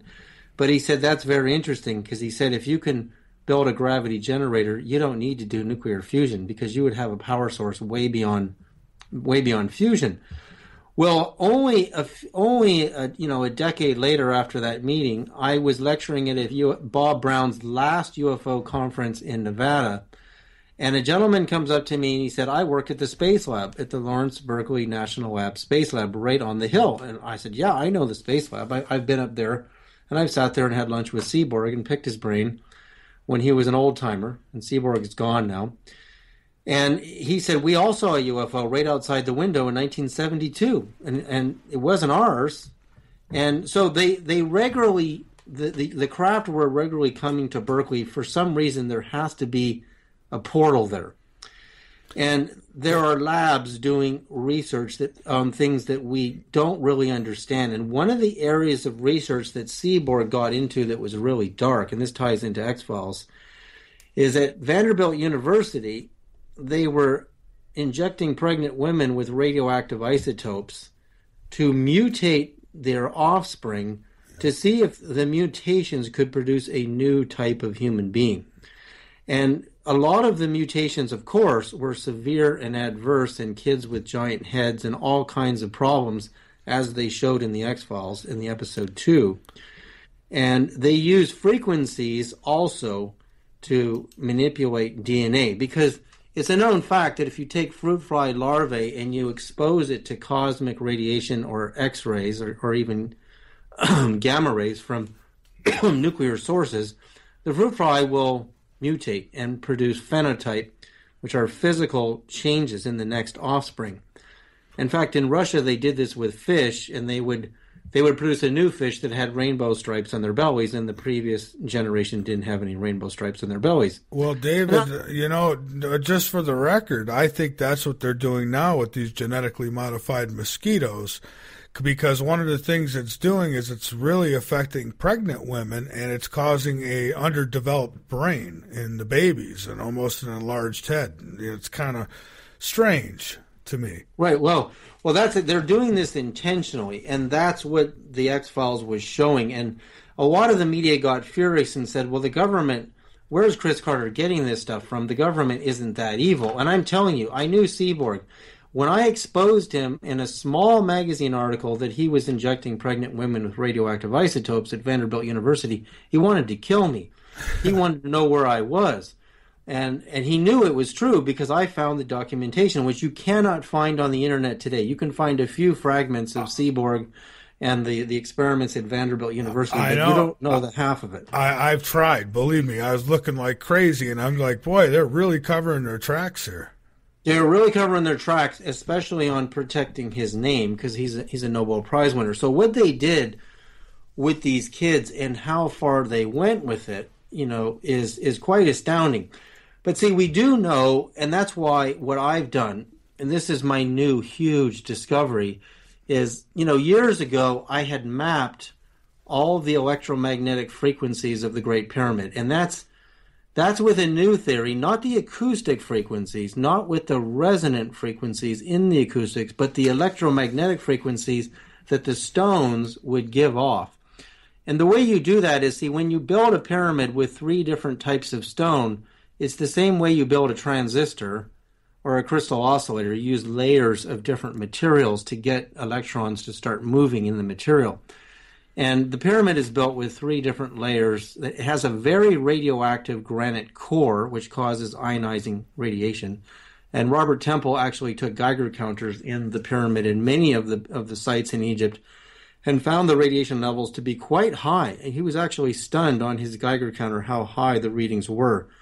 So that means you have ionizing radiation, which is a, form of energy that causes oscillations of the electrons in the material and so the electrons get excited in the material due to heat, electrical charge, and and also there might have been a device in the Grand Gallery, I believe, in the pyramid to generate and the charge that would excite the electrons even further and make the pyramid a super oscillator. So what you do is you take the speed of light divided by the wavelength, and I took the capstone base and divided the speed of light in Egyptian inches, which is almost the same as orange. There's barely any difference.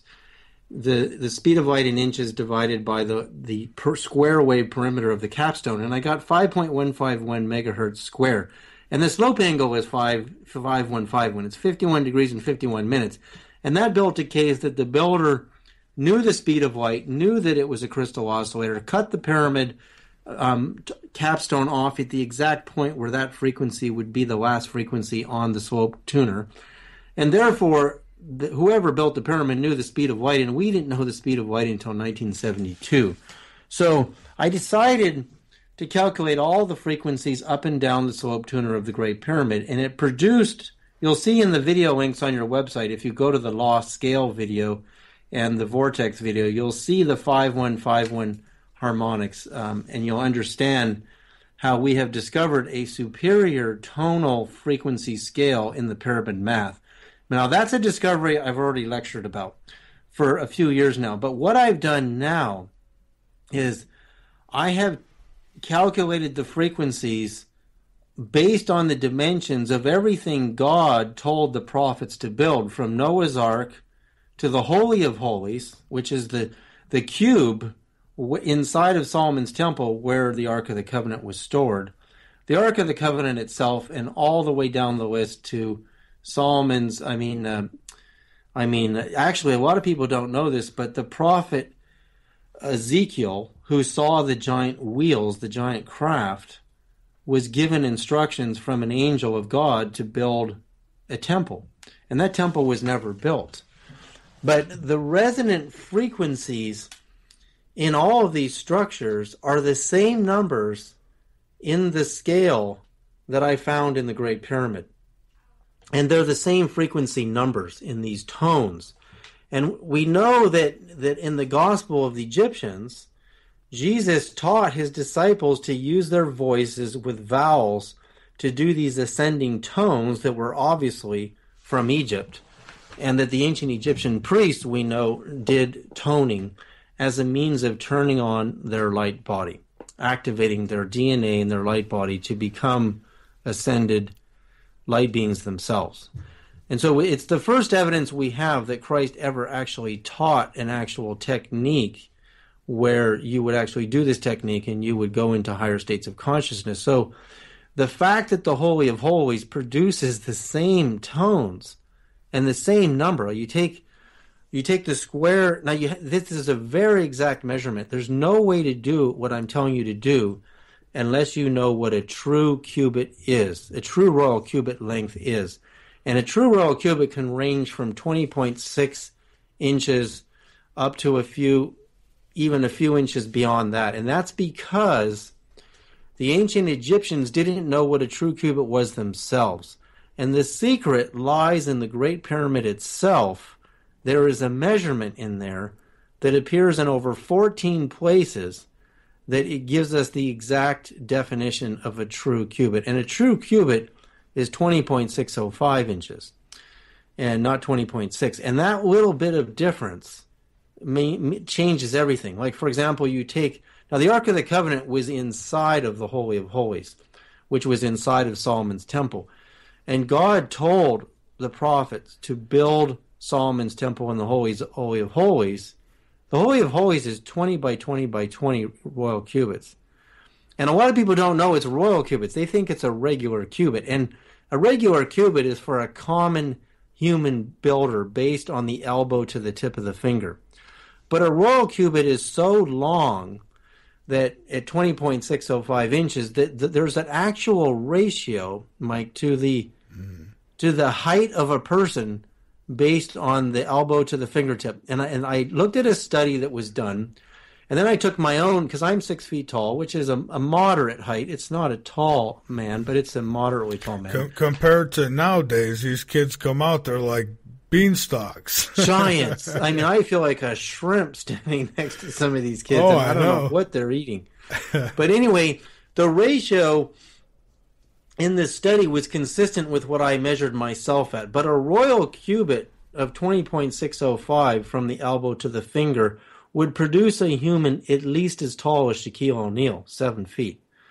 So that would mean the the builders of the Great Pyramid and the Royal Cubit system, going all the way back into God's first design, which is Noah's Ark. The first design we know of is Noah's Ark. It's the first mm-hmm. one we know of.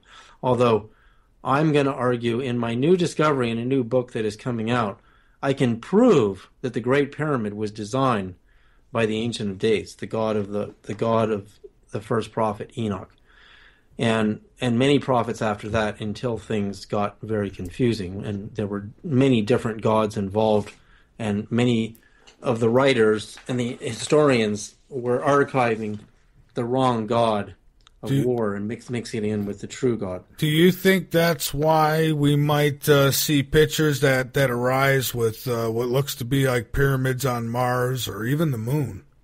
Right, because you see, once you once you understand, like let's this is kind of jumping a bit, but once you understand that once beings cross the seventh level of enlightenment, like Muhammad did, the Prophet in Islam, they're so powerful. According to the Buddha, once you do that, you're a no returner. You you can't come back in another life and interact with humans because you're so powerful you might damage them.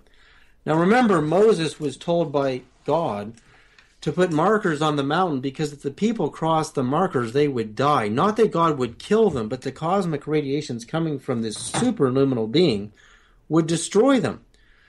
Now, this will sound crazy to your audience, but I personally had first had blinding visions of Christ in Topanga, California in 1994, and but then one day, and I was living in a yurt on my dad's ranch. He had horses with his wife on three acres in Topanga Canyon, right uh, next to the uh, the inn of the the seven. It's called the Inn of the Seven Rays, I think, in Topanga, the the restaurant there, and the there's a little spiritual bookstore there, and that was like down the hill from where my yurt was pitched, and Christ would only appear to me in my tent, which is quite interesting. But nevertheless, one day I'm awake and he appears right in front of me. And he is he did not look like the pictures. This was a man with a neck that was so thick and muscles in his arms and chest that was this was a man who built stuff, who was an architect's son. This was no wispy hippie. This guy was powerful. And he his hair was was reddish brown, and it, he had a lot of sun damage on his skin from the many, um, many, many days and months that he would fast in the desert in the hot sun. So I wouldn't say that that by looking at him he looked pretty. He he was he was weather beaten by the elements, but he was so powerful that within three seconds the radiations coming off him were burning my nerves. I couldn't take it. And in three seconds, he disappeared and he showed me. Now remember, when Christ resurrected, he burned his image into the shroud of Turin, the cloth, the burial cloth. And that's because the radiations coming off of his new body are so powerful that nobody could be near him in that state. And in, in the Pistis Sophia, which is a collection of, of, of appearances of Christ over 11 years after the resurrection to his disciples, he would blind them when he appeared. They would just have to cover their eyes and fall on the ground because the power and the radiations coming from him were enormous. Well, one time I literally went to Saudi Arabia two days before the Twin Towers came down. And I'm in Saudi Arabia and the I went there because I was a defense contractor in Irvine, California, building landmine and bomb detection systems for airport security with a whole new system, way better than X-rays. And our defense contract ran out, and I was sent there, and I met the royal family there. I met princes and members of the family. I was picked up by second to the king at the airport, second assistant to the king.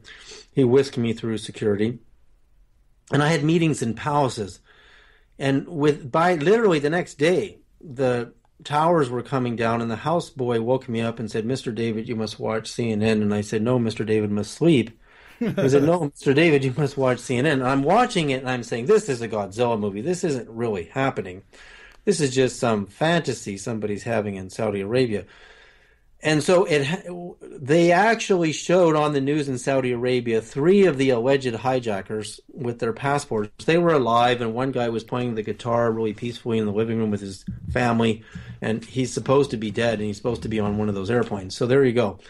And there I am, and I can't leave the house because Americans and I was Canadian. My passport is Canadian are in danger. In fact, two Canadians were killed in Iraq right after because the Middle East thought they were going to be nuked within days, and they may as well just kill any American or Canadian European they could get their hands on. And very, very quickly, they were assured that that wouldn't happen for some unknown reason, because that would be the logical thing to do if we were truly being attacked by them and and you know that there's something wrong there. But nevertheless, I was locked in this room for days, and I had to get a flight out to London, and I didn't want to be there anymore, and I didn't want to fulfill my mission of trying to find money for airport security because look what just happened. so, um, one day the Prophet of Islam appears to me about ten feet away from me, and I, have ne- nobody has any pictures of him. Nobody knows what he looks like, but he's so powerful. The radiation's coming from him. The same thing happened. My my nerves started to burn, and I had to look down. And it was it's unimaginable how holy and powerful the vibrations are coming off of the prophet. And so, what I'm telling you is it's exactly like the Buddha said. When you cross that level of enlightenment, you're so powerful that it's literally, and you can see depictions of this in the ancient Greek, you can see piction, depictions of this in the ancient Sumerian tablets, where gods become and goddesses so powerful and radiant that you have to be an adept to be anywhere near them because of the rays coming off of them. So this is consistent in, in the case of Moses with the markers. Don't tell the people not to cross the markers.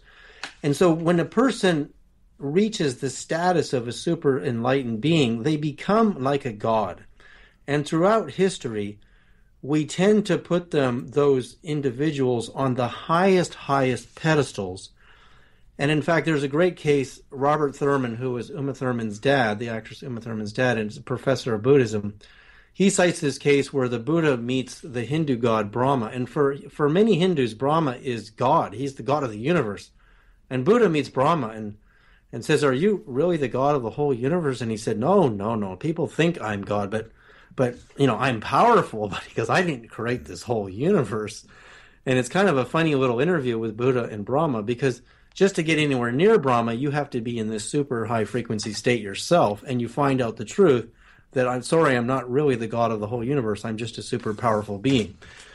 And that's what see that's what's very different. When we egoify a god and we say this there's only one god and there can only be one god and all the other gods you know we're going to squish you until you find out that they're all friends and they're all super powerful luminal beings that live in the light and they live in peace and there's no war in their realms.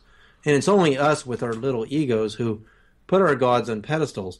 Like see muhammad said in surah 42 of the quran that you don't make war and don't divide the religion with the Christians and the Jews. Well, yet, well, you know, in, they, in, the Bible itself, it's you know that the, the, God uh, depicted there says, you know, you better not worship anybody but me. Um, and, well, see, that is what Yaldabaoth said in in the Gnostic Christian Gospels. It says he's a jealous and an angry God. Well, a God who suffers from jealousy and anger and wants to control everybody, that's that's a demigod. That's how they are. They they battle among themselves to get to the top of the hill.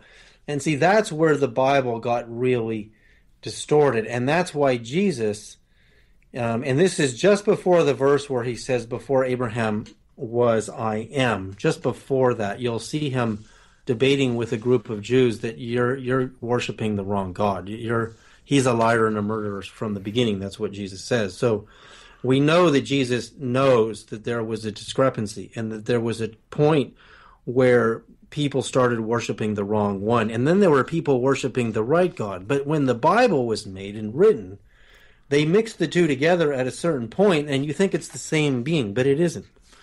and and that's that makes clar- sense. It Yeah, and that's clarified in the Gnostic, the Gnostic Gospels. It's very clear that Yaldabaoth is the king of the demigods. He's a warfaring god, so he's a god of war, like Zeus, and he possesses great, powerful weapons like Zeus or Indra. In the Hindu system, Indra is just like Zeus. He's the thunderbolt. He's he's got a weapon that is unbeatable, and so You know, and, and when I when I think about uh, they they talk about uh, Satan and uh, you know Lucifer in the uh, Garden of Eve, uh, you know, uh, given information, tell, you know that he shouldn't have. Whatever, you know, it almost seems like it's like in the environment we're in now here, like in the United States, for instance. Uh, you know, you tell the people the truth and right away you become a villain and I, I sometimes i've looked at it almost like those kinds of stories you know Well, exactly. I mean, look at what the X Files is doing right now in these episodes. They're they're spilling the beans on something so deep. It, it's so incredibly deep that that they were mutating humans to try to create a superhuman. That's what they were doing with the radiation experiments. And now we know that if you, for example, our current music scale in in my tone test, ascending tone test, you take a signal generator, you enter the frequencies of the 12 tones of the chromatic scale or the seven bass tones, and you scale up and you don't turn each tone off, you leave them on, and you'll hear the distortion, how distorted our music scale is. And in fact, I even tested the solfeggio scale is not actually a music scale. It's only nine tones. It's much better, but it distorts at the fourth tone and up. The scale I found in the Great Pyramid is the most superior, beautiful, perfect harmonic scale. And even the 432 scale, which is very popular all over the internet, um, distorted worse than our modern music scale. It was actually worse really and the and the four four four scale distorted even worse than that. What what, So- what what's your opinion on 528 Well, see, five two eight is part of solfeggio, and solfeggio tones as a they're not a complete scale because you don't have octaves. Um, okay They're very good. Solfeggio tones are very good. There's just a tiny bit of distortion in there on the fourth note up, and that that means that whoever knew the true solfeggio, obviously, this is the theory, is that we're all listening to music that's slightly, slightly out of tune, and therefore it won't allow us to fully activate our chakras. It's activating them a little bit, which is why you feel emotions when you listen to music, but it's not taking us all the way. The tones I found, which are in the Holy of Holies, they're in the Ark of the Covenant, they're in the Great Pyramid. I found them everywhere. They're in all of God's designs, the true God's designs, and I don't believe Noah's Ark was a boat. I I never did as a kid. I said, "How are you going to fit every animal on Earth in pairs on a Oh, boat?" I am for with 40 you. Days, i am with you on that one go ahead and they're gonna they're gonna have to go to the bathroom. And what are you gonna do? Like every one of them.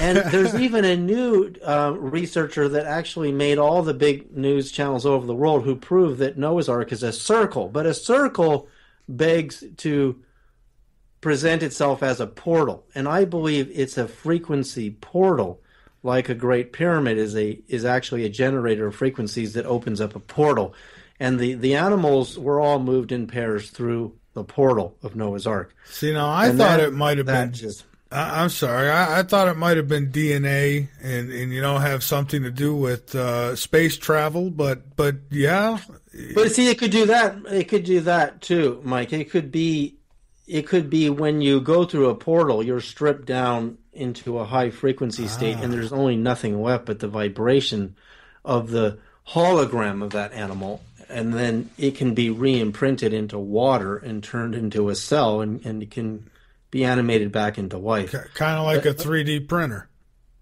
like a 3D and look at that like look at the idea of where 3D printing is going where it's going is we're going to be able to 3D print everything including your house by with large 3D printers. And we're going to get to the point where the banks are going to have to say look if this is what I believe. I believe for any civilization to reach space you have to get everyone out of slavery, out of their mortgages and their rents and working, you know, six, you know, five, six days a week just to pay for that and free their minds so they can focus on a level of creativity to have the insight to develop interstellar travel.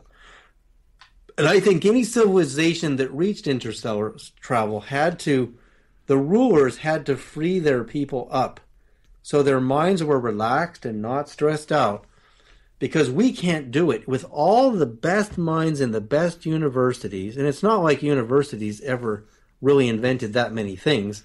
It was more free enterprise where automobiles and computers and things were invented. But nevertheless the the universities produce a lot of good minds. But nobody can figure out what gravity is. Nobody at the university level is figuring out anti-gravity.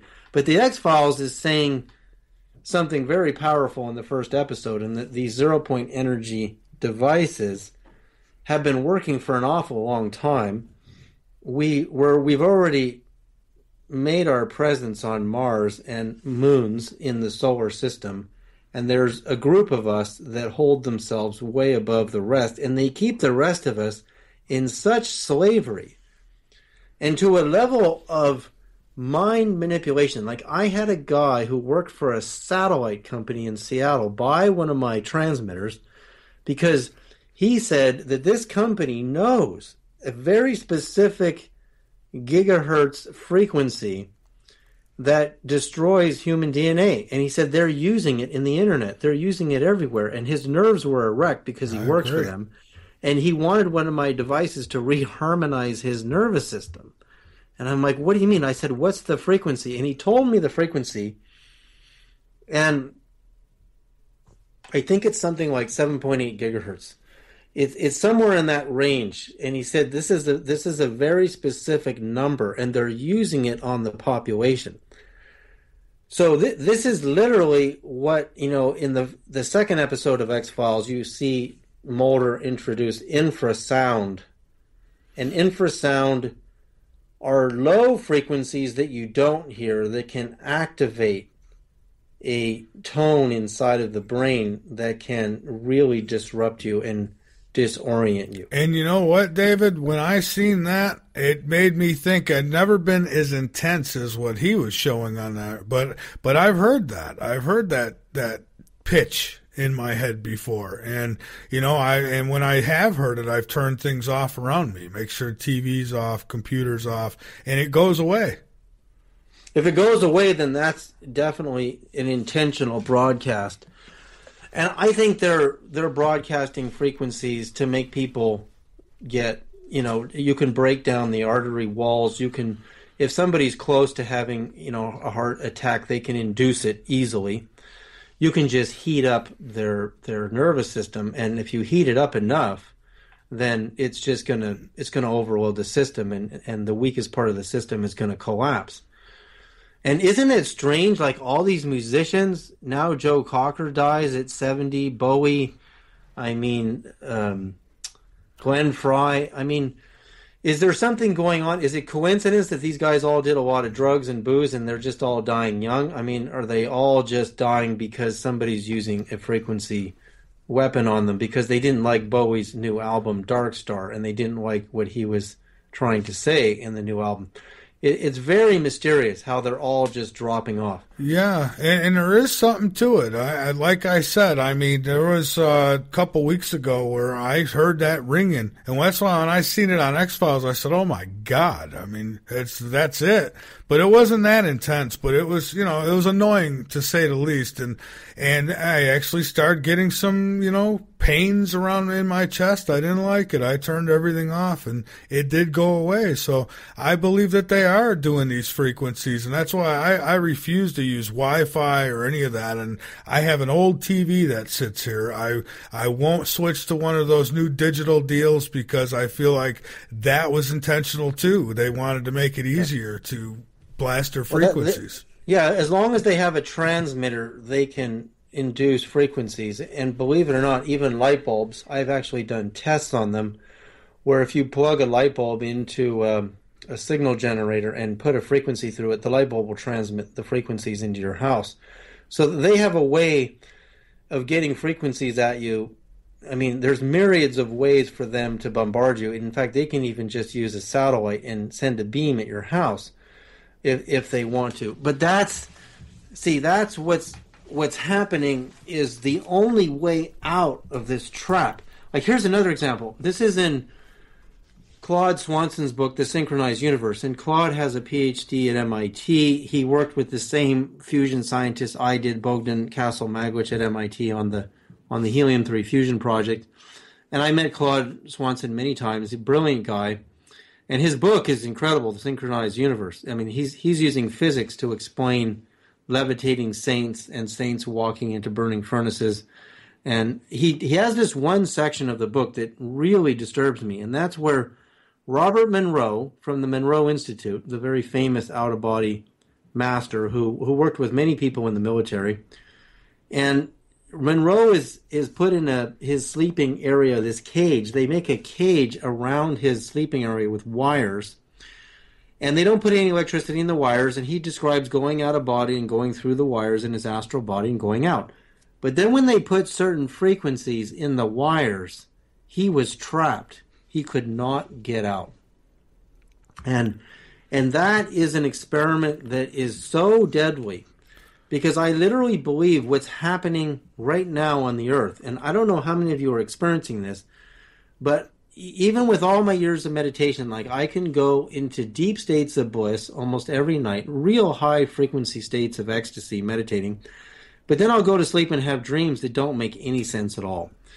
And when I was a kid and younger, and even in the 70s and 80s, I would have astounding experiences behind sleep it wasn't until I developed my mantra transmitters and my wands and I could pulse great pyramid frequencies into my room that I could suddenly access the higher astral plane and have really, really amazing visions and meet with the Pleiadians, you know, using frequencies of Pleiades and using Sirian frequencies and meeting with Sirian beings. But without my ability to to control my environment and put my own frequencies into my own sleeping environment, could I change that? I couldn't change it with all of my own effort. And and that was the same case with Robert Monroe. He was a master at leaving his body at will. He could not do it with these certain frequencies being transmitted into his sleeping area. So, so I believe what's happened to the planet is they know this. Now, this is really scary X Files stuff they know in the Human Genome Project. They remember I said this earlier in the in the interview that they can identify the gene that causes aging, and if you can switch it on and off, and yeah. you can make a person basically live for many hundreds of years. And they know this. They when they map the human genome, and this became classified research. So that means that if the universe decides to activate your DNA by sending in cosmic rays. Now, look at this news on spaceweather.com only a few days ago. There's a, there's a graphic showing that cosmic rays are intensifying between March 2015 and January 2016. There's a graph showing a steady increase in cosmic rays. And if cosmic rays are increasing, your DNA is receiving it. And we know this from fruit fly larvae studies that if you if you change the frequencies that you're putting into the DNA, you'll see phenotype real physical changes in the offspring. So is the universe trying to to change our DNA and therefore what they want to do, they don't want us to awaken and be illuminated. They want us to be subservient, dumbed down slaves who were, will pay their mortgages and work six days a week and even seven days a week to pay for the darn thing and your food just to stay alive. And while they're rich and they have all the money and they have the alternative space program, you're working your butt off to pay for whatever they're doing. So that's God in the universe saying, I'm going to change the frequency of the humans and make them more awake. But all they have to do is do wide span DNA studies. And if certain genes are switching on, they know every gene in the human body now. They know what its purpose is, most of it. And so therefore they can go, we don't like where it's going. We're going to force vaccinate all the children and make it look like we're vaccinating them for a supposed virus. That's right. And meanwhile, we're just going to turn all those genes off that the universe is trying to turn on right now. Damn, David, you are whistling my tune tonight. You really are. Go, go ahead. Uh, we we got a break coming up in about oh two minutes, and uh, but but uh, go ahead and finish up on that note, and uh, we'll take that break, and we'll come back and continue. Uh, we've got uh, our last segment coming up here. Yeah. So I literally have seen like you know since I started this online meditation course called Quantum Regenesis, where I teach people how to do breathing exercises, how to use your own voice to the pitches you hear in the in the tones of the scale. We have a total of 360 tones. We have 120 tones amongst 12 octaves of 10 tones each, and they're all harmonic. None of them distort. I can move up and down anywhere I want on my pyramid scale and my holy of holy scale. All of the all of the sacred sites in and that were God designed have these frequencies built into it. They're all perfectly harmonic, whereas our music scale is not. And uh, I have a new video coming up. I, I, just haven't finished it yet on my YouTube channel, Spaceman99, which you can look for in the next few days. But where I really demonstrate the distortion in the 432, the 444 scale, the chromatic scale, slight distortion in the solfeggio scale. The solfeggio scale is very good. It's it's better than our chromatic um, music scale, but it's frequencies that determine what your DNA is is is going to turn on or turn off, and how you're going to switch on your chakras, your energy centers, to activate your true light body. Jesus said a devastating thing in the Gospel of Philip. He said, if you don't attain the resurrection, the light body, when you live, when you die, you'll receive nothing. The church made it look like they had the authority to save your soul for Him. And that's how they tricked us.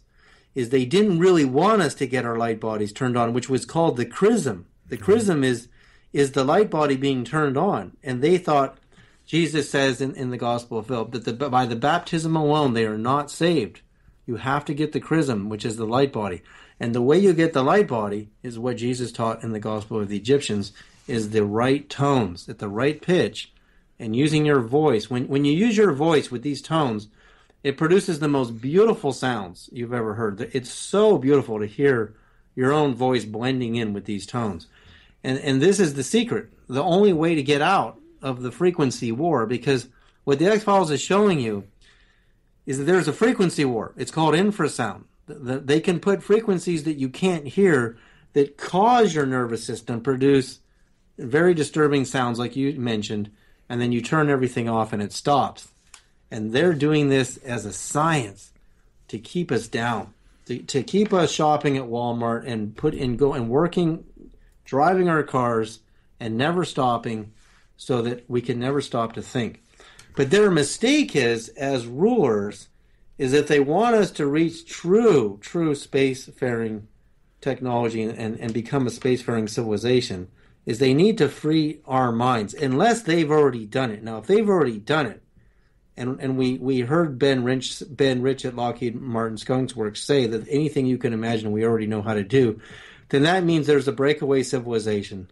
They look at themselves as superior to us, and they just keep us as slaves down here while they're out exploring the universe. Oh, yeah, absolutely. David, hang on right there. We're going to take this break and then we'll come back and you and I will finish up. Uh, wow. I mean, he is really, really whistling my tune tonight, folks. I mean, I can't disagree with anything he's saying here. I mean, wow. Frequencies. I mean, maybe even like I've said years ago, maybe they're using things like HAARP and Maybe they're using it as like a frequency jail. Maybe they're trying to even keep our souls uh, trapped here in their 3D reality. I don't know. Folks, David Sereda is my guest tonight. This is Late Night in the Midlands. I'm Michael Vara. He is linked up on our homepage at latenightinthemidlands.com and on our schedule page. You're welcome to call in after this break. The number's on our website. You can call in using Skype also. Uh, don't go anywhere, folks. It's really, really interesting tonight.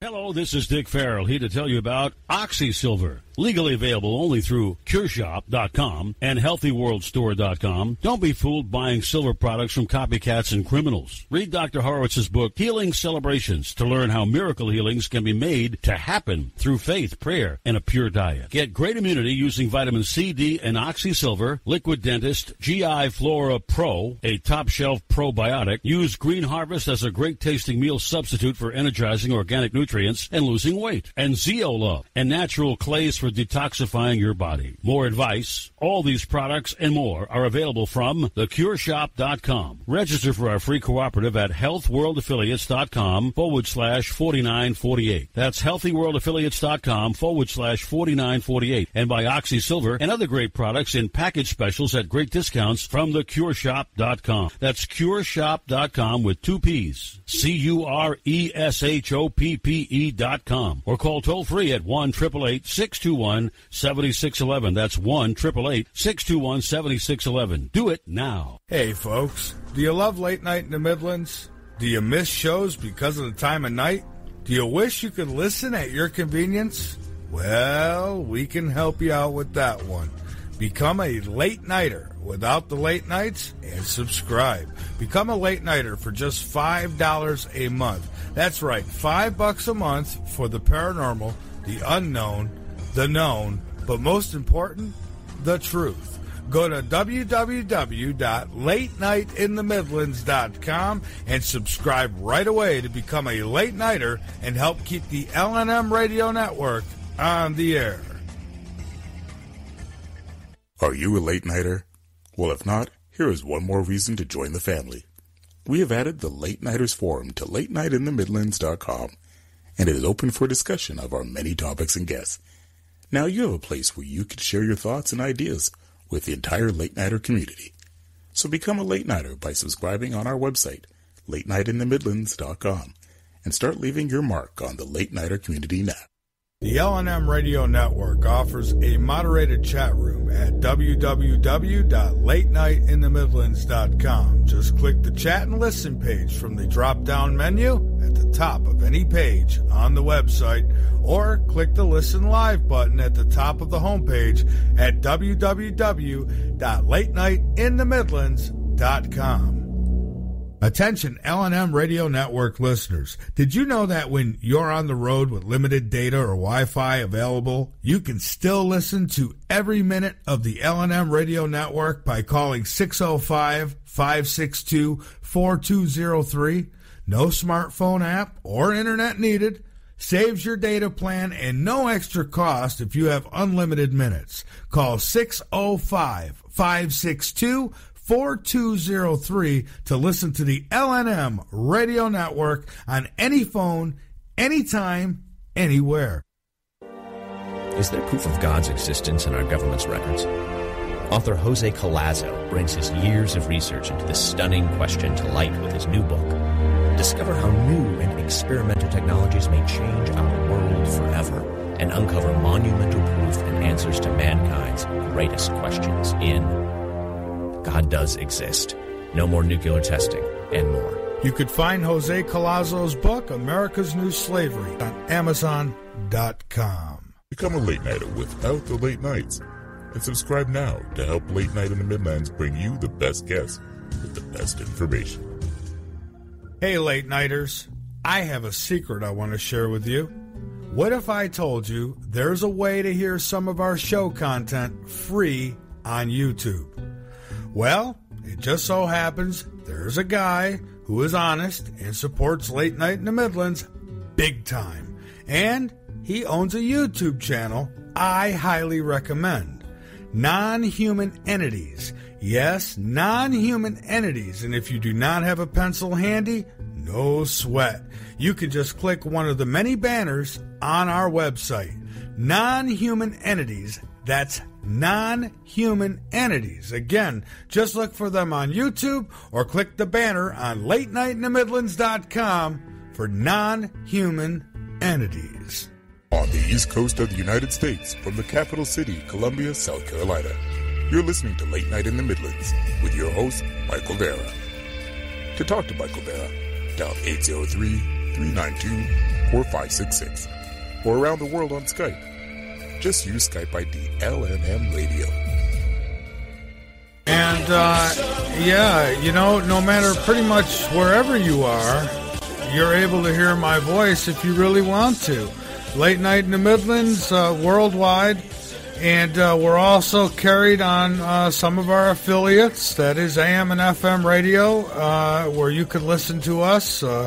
New York, New Jersey, Pennsylvania, 1620 AM, 100.5 FM and in uh, Wareham, Massachusetts on WAFR 87.5 FM. As a matter of fact, they carry us live.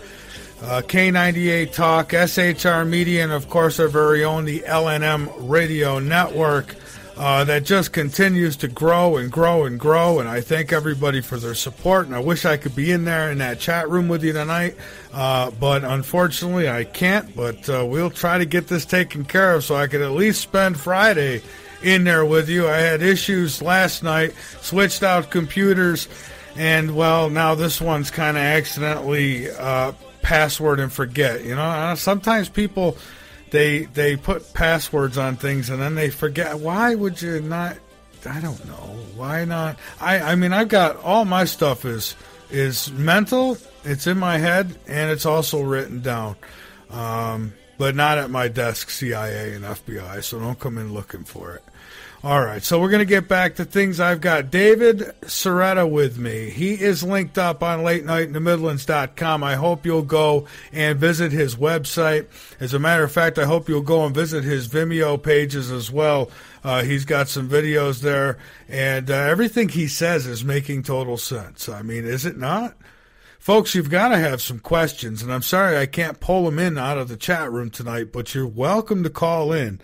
803 392 4566. The number's on the website. You can call in using Skype also. And I hope you'll become a late nighter so that you can help us help you and bring you the best guests with the best information each and every night here on the LNM network. So let's get back to it, David. Uh, so is is that really what they're doing? I mean, are they trying to build um, kind of like a cage to trap our souls as well? Do you think? Well, John Lear, um, I had conversations with John Lear. Has you know from the Lear aircraft family has had conversations with me where he's been proven that there's a black box on the dark side of the moon where this actually happens, where souls are trapped. And what's interesting about that is the, the ancient Hindus have a philosophy that the astral body is not powerful enough to travel anywhere beyond Earth and the moon.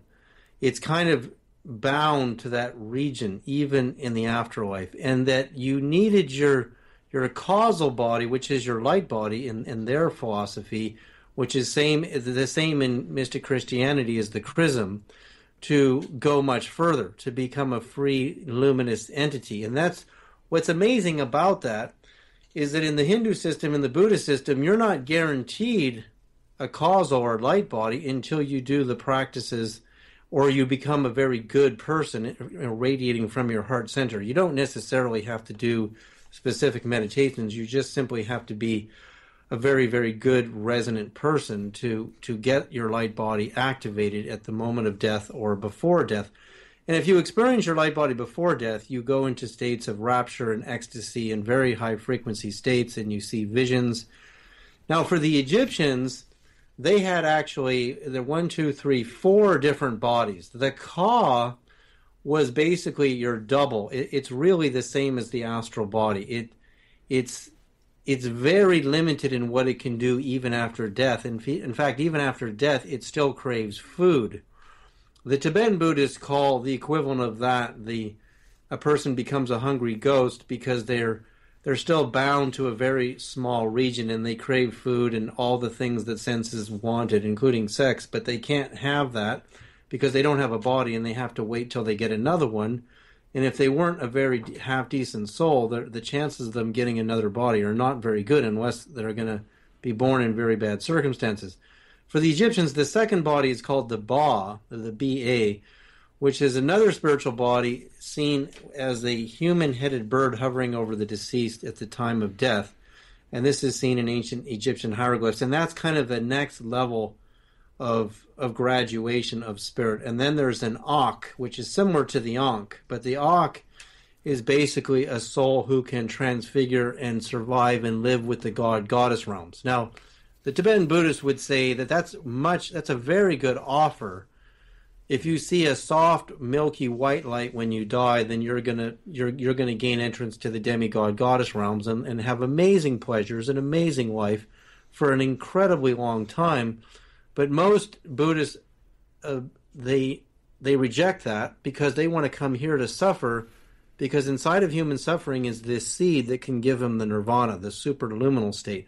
And they can't get the nirvana very easily in the god realms and goddess realms because there's too much pleasure there, too much um, amazing sex and food and, and other pleasures to travel and fly around and craft and live disease free for, you know, tens of thousands of years.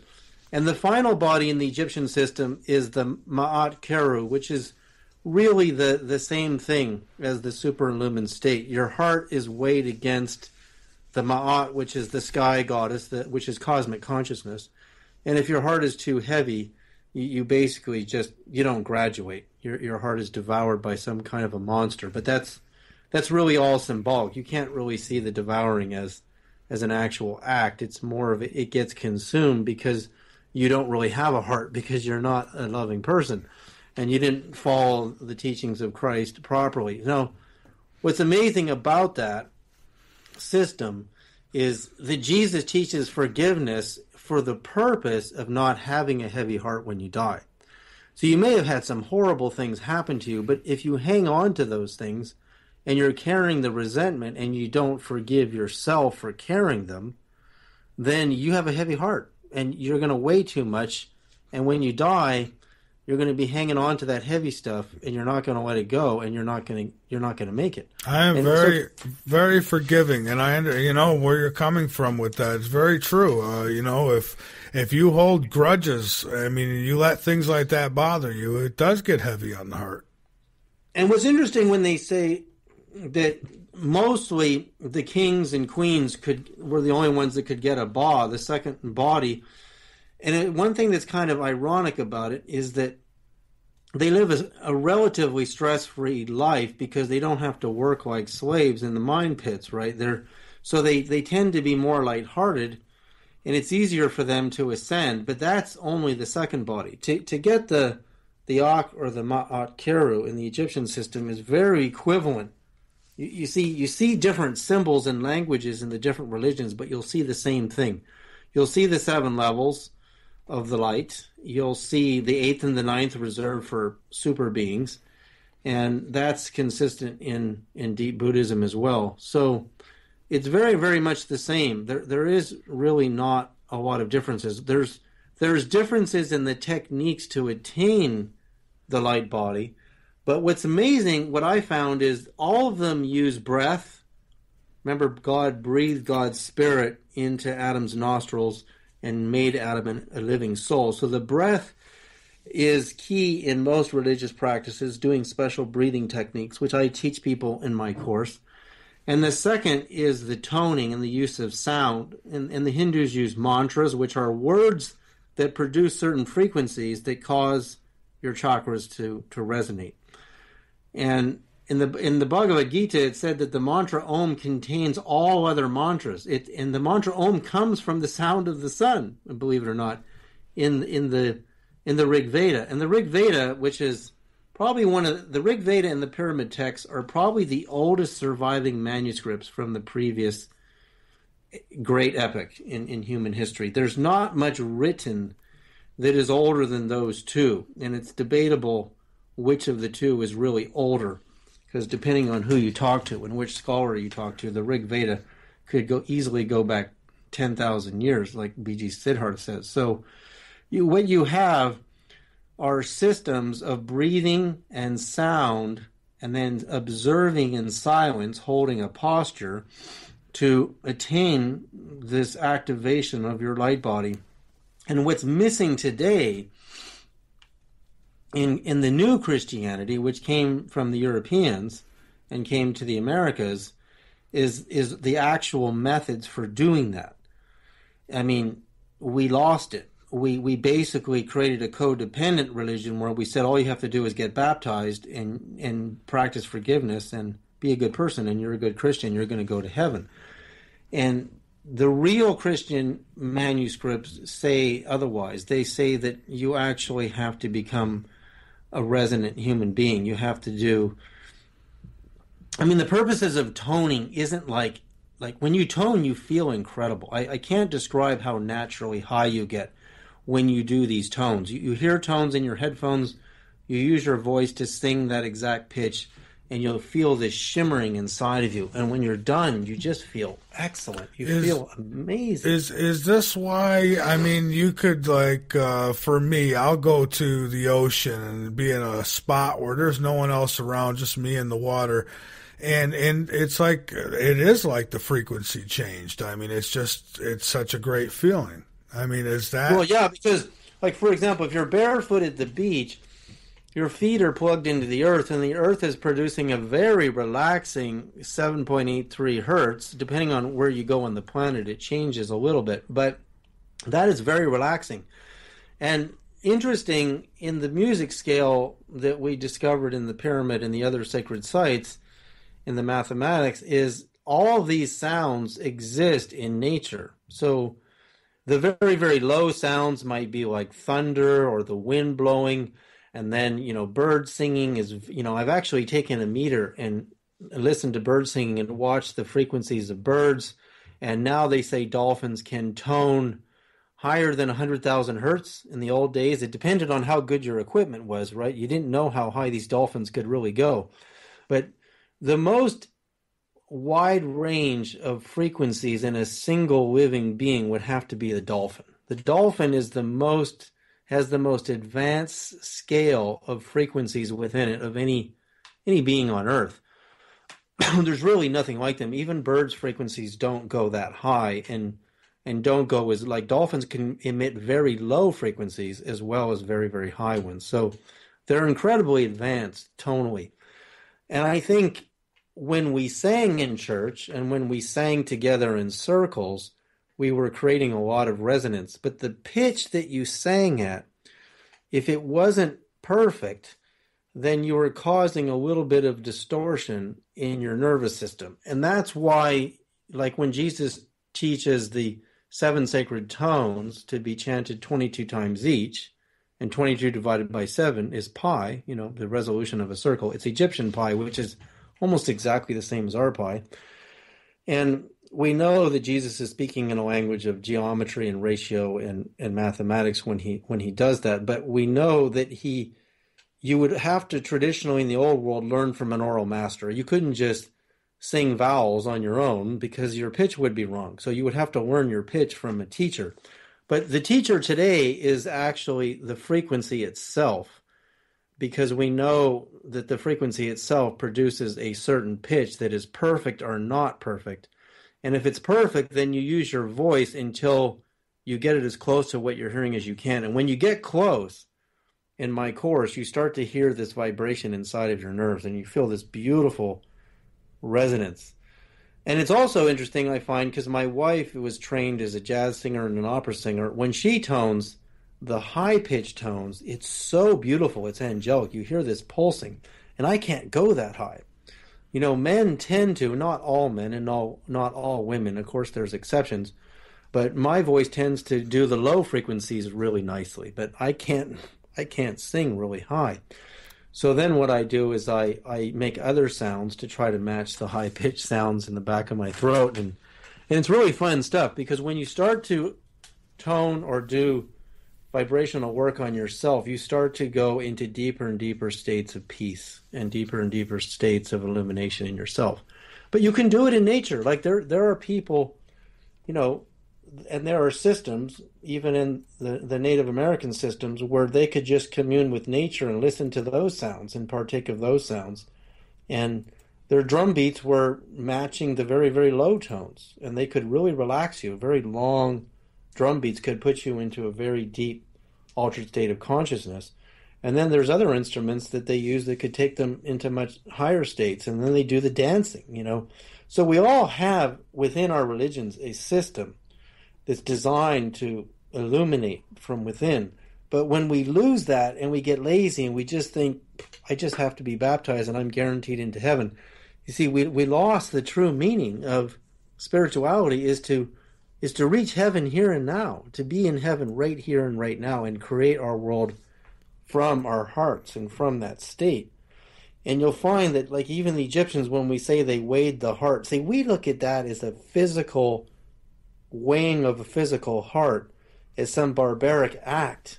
But it's symbolic, right? It's an emotional thing. You're weighing, you know, heavy heart or a light heart, right? Yeah.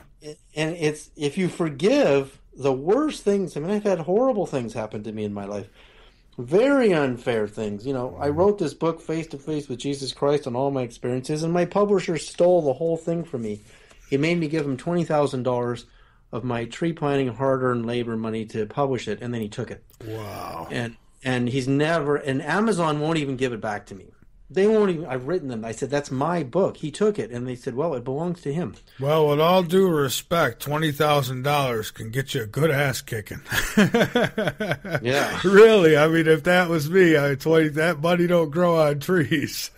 well, no. For, I was a tree planter. I mean, I would save you know twenty thousand dollars a year working six months planting fifteen hundred trees a day, and my body is like it's so in so much pain when I end a season of six months tree planting. I just want to pass out for a month and and heal and recover the pain and the bruises in my body. Well, he he's he's making bad. I mean, isn't he uh, pulling bad frequencies towards himself, being like that? So that's what you do when you forgive. When you forgive someone, you just say, you know, you have your karma with God. You're going to have to work it out with whatever you did that was unjust, but I'm going to let it go because I don't want to carry it in my heart because I don't want that pain ruining my life in the here and now and the hereafter. Because and it's terrible. I've had worse things than that happen to me. You know, I've had all of my movies stolen by other people, put on YouTube and monetized. My movie Quantum Communication was renamed Mind Science Kept Hidden and by somebody else and they got you know tens of millions of views. They keep changing their name. I tell them to take it down. They change their name, put it up again, and they're making money. And from what I understand from the 30 million views that film had that I made with my partner Jim Law, they made more money than we ever made when we sold the DVD. And see, David, uh, I, I I'm glad that They you're br- I'm glad you're bringing this up because I was telling listeners about how I was fighting against piracy with my shows and stuff. They do it all the time, and and people don't understand the severity of that. Well, even like I didn't know you could create a YouTube channel and actually make decent money on your content. Oh, yeah, they'll take they what they do is take you take any mention of you and all that out, and they'll use your yeah yeah they do. They put their own ads in, and they, They make, put their own ads in, and YouTube doesn't know the difference. If you try to call anybody at YouTube, you can't get anybody in the phone, and then that person can say, "Hey, this is my movie. Prove it." And meanwhile, you know, they take it down and they change their channel name and they put it up somewhere else and they monetize it. And they did this for years Yeah. with several of my movies. And and we had to actually shut down our DVD production business. I couldn't afford to make any more movies because it costs money, serious money, to make a movie in the first place. Because you got to travel and interview people and edit. You got to pay your rent and your food and your family while you're working, and and so you have a budget, and then you got to recoup the budget before you're making a dime.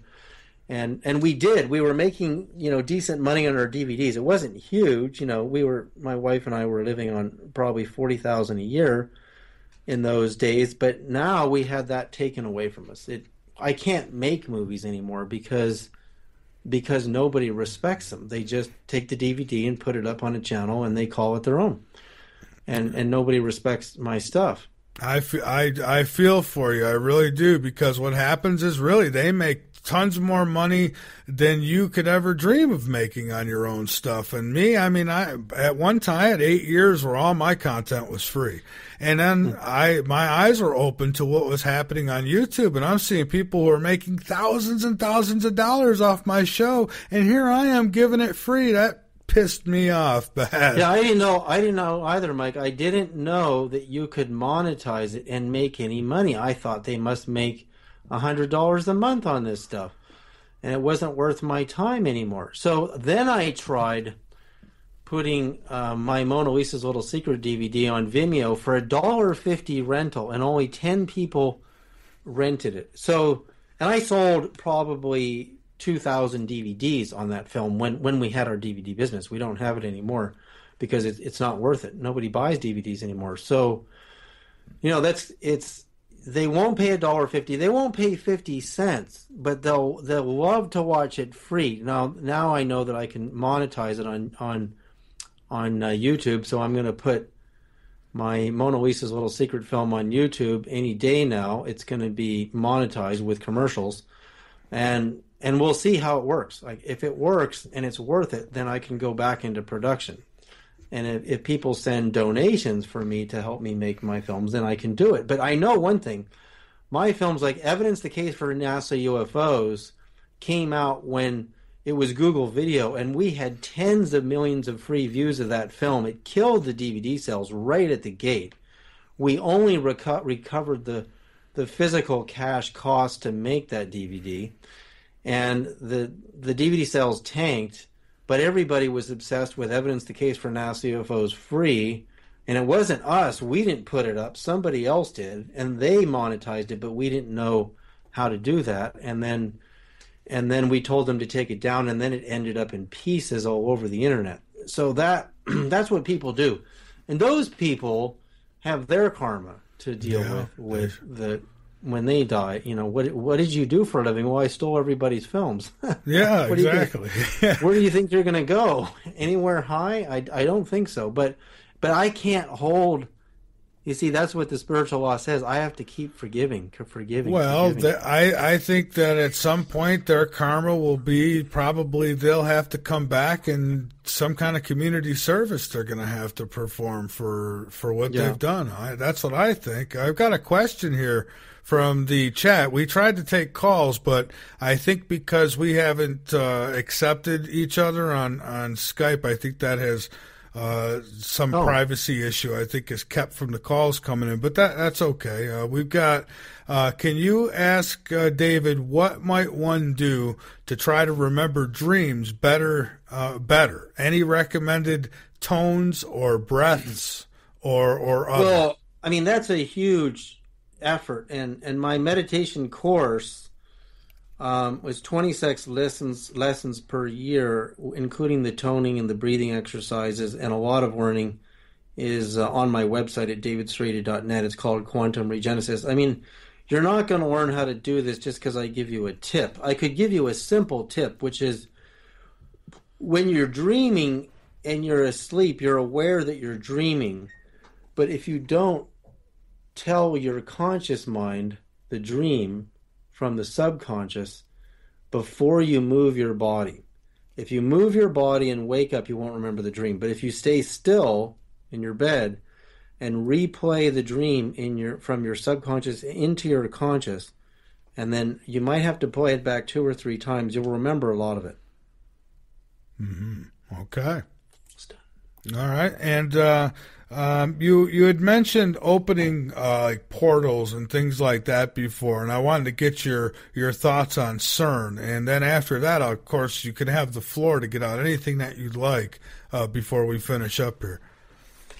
Well, you see, temples were made of semiconductive stone material, and when certain activations of those electrons got moving, the temple would produce a frequency which opened a portal to um, a particular god or goddess and or a particular realm.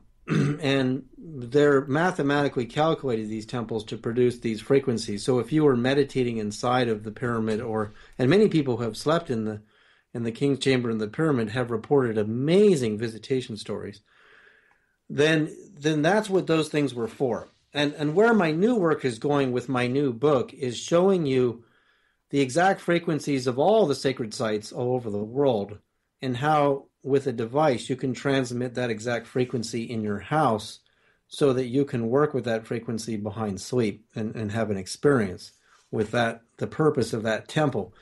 But when you come to CERN and you come to HAARP you're coming to people who are using atomic energy and frequencies that have no real destination point because they're not that organized the way they're doing it.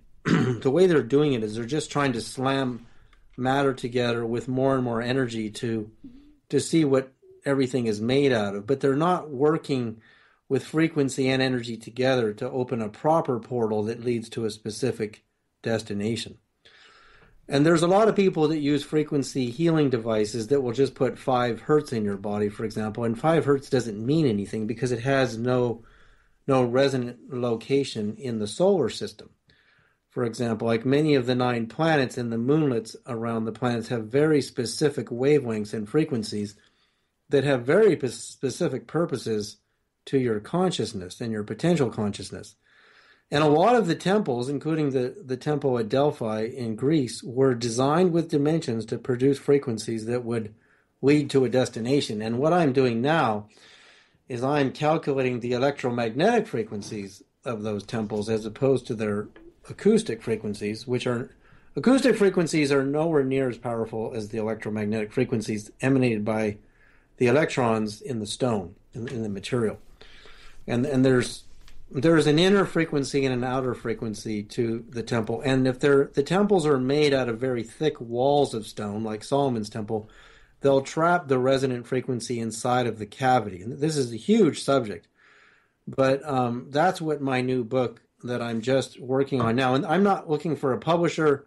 I'm just going to make the book in a pdf or a, a printed on amazon you know printed on demand most likely is how it's going to go. So when you read it, you'll not only in the end get the frequencies, but I'll show you how to use a simple, inexpensive device, and it'll train you how to plug that device into a transmitter and start transmitting those those frequencies into your space. So, but but you know, HAARP and the U.S. government, I don't think they're that intelligent. I don't think they know which frequencies lead to the real beautiful places. I, I think they're very they're very crude, like cavemen and women who are behind these programs, and they're they're opening up portals and they're playing dice because they don't know the numbers that they're putting into their portals, and so anything could come through. You could get some really messed up warfaring, you know, ETs.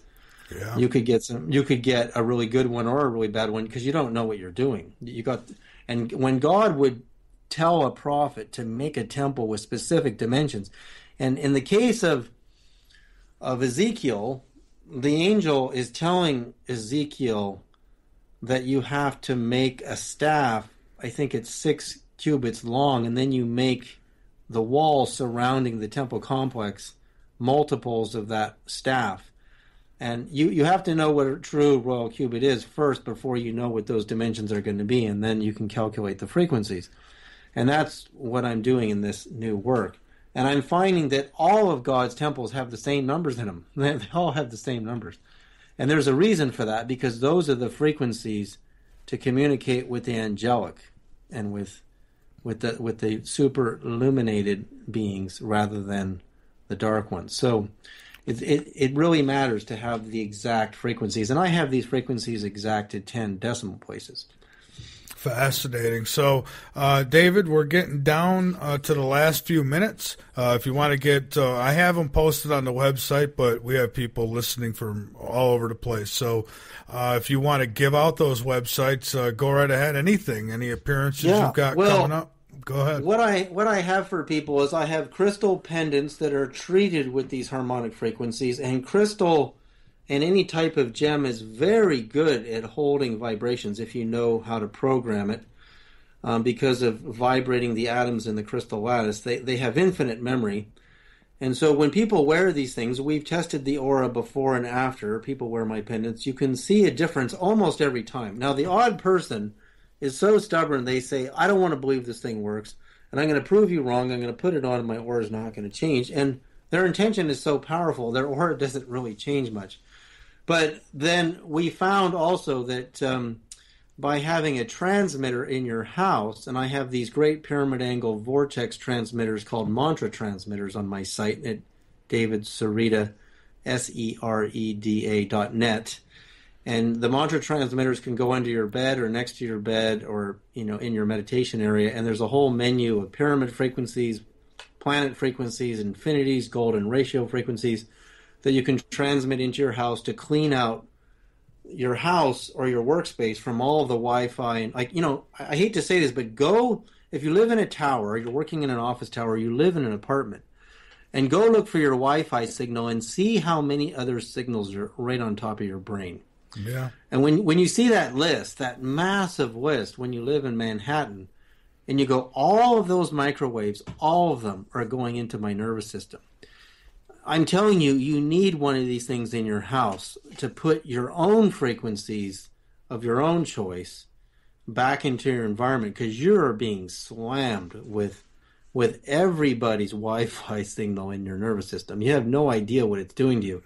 It is just warping you. So you you the I believe the future that there's the future in these devices to clean out the electrical field pollution in your house because it's affecting your aura, it's affecting your your body electric. You're an electrical being. Just pick up a voltmeter, the positive and negative nodes on your two fingers, and your thumb and your index fingers, and you'll see voltage because you're electrical. And that means if you're electrical, then you're frequency inductible. Luc Montagnier, who won the, the Nobel Prize for the AIDS virus, um, he proved that human DNA reads frequencies. He proved it. And he proved that it could read really low frequencies. And what's interesting about that in the X Files is infrasound, which in Agent Mulder um, states is I N F R A sound, infrasound, are low frequencies that you don't hear. And, and Luc Montagnier found that the DNA reads the low frequencies like a little antenna in the middle of all your cells and therefore it's reading everything that you're being you're being imposed by. And that means natural frequencies as well as unnatural ones. And the unnatural ones can cause great harm to your different spiritual bodies as well as your physical body. So you got to get shielded protected and I found, you know, I studied metals, different metals that can block all the signals coming from out there, but there's the only metals that can really block everything are tungsten, and tungsten in sheet would cost you $100,000 to, to line your house with it. Wow. And then you're going to block out all the cosmic rays too, and you don't want to do that. You don't want to block out the solar energy because natural EMF and harmonic EMF is good for you. That, that's photosynthesis. That's how electromagnetic fields. The, the sun is electromagnetic energy. So if you block out those frequencies, you're dead. so you can't you can't really do that. You can't really use materials to block everything. You just have to reharmonize everything with your own um, frequencies going into your own house, and that's the only way I believe that people are going to be sane in the future because these signals are going to get more and more and more. There's going to be more and more Wi Fi, more and more signals, stronger and stronger signals, and more and more specific frequencies going into your head, like the X Files. So that isn't that isn't science fiction, folks. That's they're they're trying to tell you something. That's right. I agree. And one more question we got here. Uh, Iris passed it off to me. Uh, can you ask if harmonics from a guitar work, or does it have to be uh, notes? I think he's got here. Well, it's possible to tune a guitar to the pyramid scale. Yes. In in my course in lesson 10, there's a PDF that gives you all the numbers of all the frequencies, and all you need to do is get a frequency meter and tune your tar- guitar, which is six strings, so you could tune six out of ten notes to whatever you want to on, on whatever octave you want to on the scale. I mean, I'm not sure how what latitude there is in guitar strings to get these exact frequencies, but it should come pretty darn close. All right. Well, David, I thank you so much. Uh, we we mustn't wait so long. I just said this to the last couple guests here uh, this past uh, week because yeah, it's. I mean, I love going on your show. Um, Yeah, So- absolutely. We'll we'll have to get you back very soon, like the next month, uh, maybe, and and and Well, when I finish this book, when I finish this book I'm talking about, there's a part of the book I haven't told you yet, but I, I'll reveal it when the book is ready, and I hope to have it ready in a month. All right. Well, sounds good. We've got you I'll- linked up on the website. and We'll keep you there in our archive as well. Thank you. All right, Mike. Thanks. All right. Have, have a good night, my friend. And uh, too. yeah, I'm looking forward to having you on again. What a what a fountain of information, folks. Uh, David Sereda. I I'll tell you, I really enjoy uh, conversations with David, and uh, he's just got so much to share, and uh, we do appreciate. Uh, him being on the show tonight. So, um, oh, and by the way, tomorrow night, folks, I have scheduled Tyler Hardy. Now I don't know. Uh, I haven't heard from him in the last few days, so uh, hopefully that goes as well. But if not, we've always got some kind of backup. Uh, usually we do. And uh, so Tyler Hardy, you, know, you might ask who he is. Well, back when I first started my show, uh, he was doing um, well, kind of a video show on what was called Justin TV at the time. And, uh, you know, he's pretty outspoken.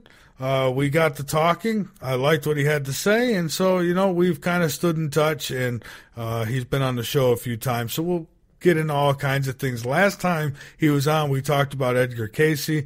Uh, who knows? Uh, that might be where we go tomorrow night. I don't know. We'll see. Uh, hopefully everything works out. But, uh, folks, David, again, he is linked up on our homepage at late night in the. Uh, folks, I, I, I hope you enjoyed. I think we've really kicked some butt this week. Uh, I'll tell you, each night has just been, just so much it gets better. It's like every night is just fantastic. Maybe it's just me. I don't know. But I, you know, folks, I, I'm really enjoying it. I hope you are too. And I hope you'll stay tuned because there's more coming up after this show. Uh, Ira's got it going 24 7 here. Uh, folks, I thank you so much for joining us tonight on the Late Night in the Midlands and the LNM Radio Network. Uh, I ask that you keep your eyes posted to the sky because you never know what you might see, and keep your ears posted to this broadcast because you never know what you might learn. Good night, everybody, and thank you so much.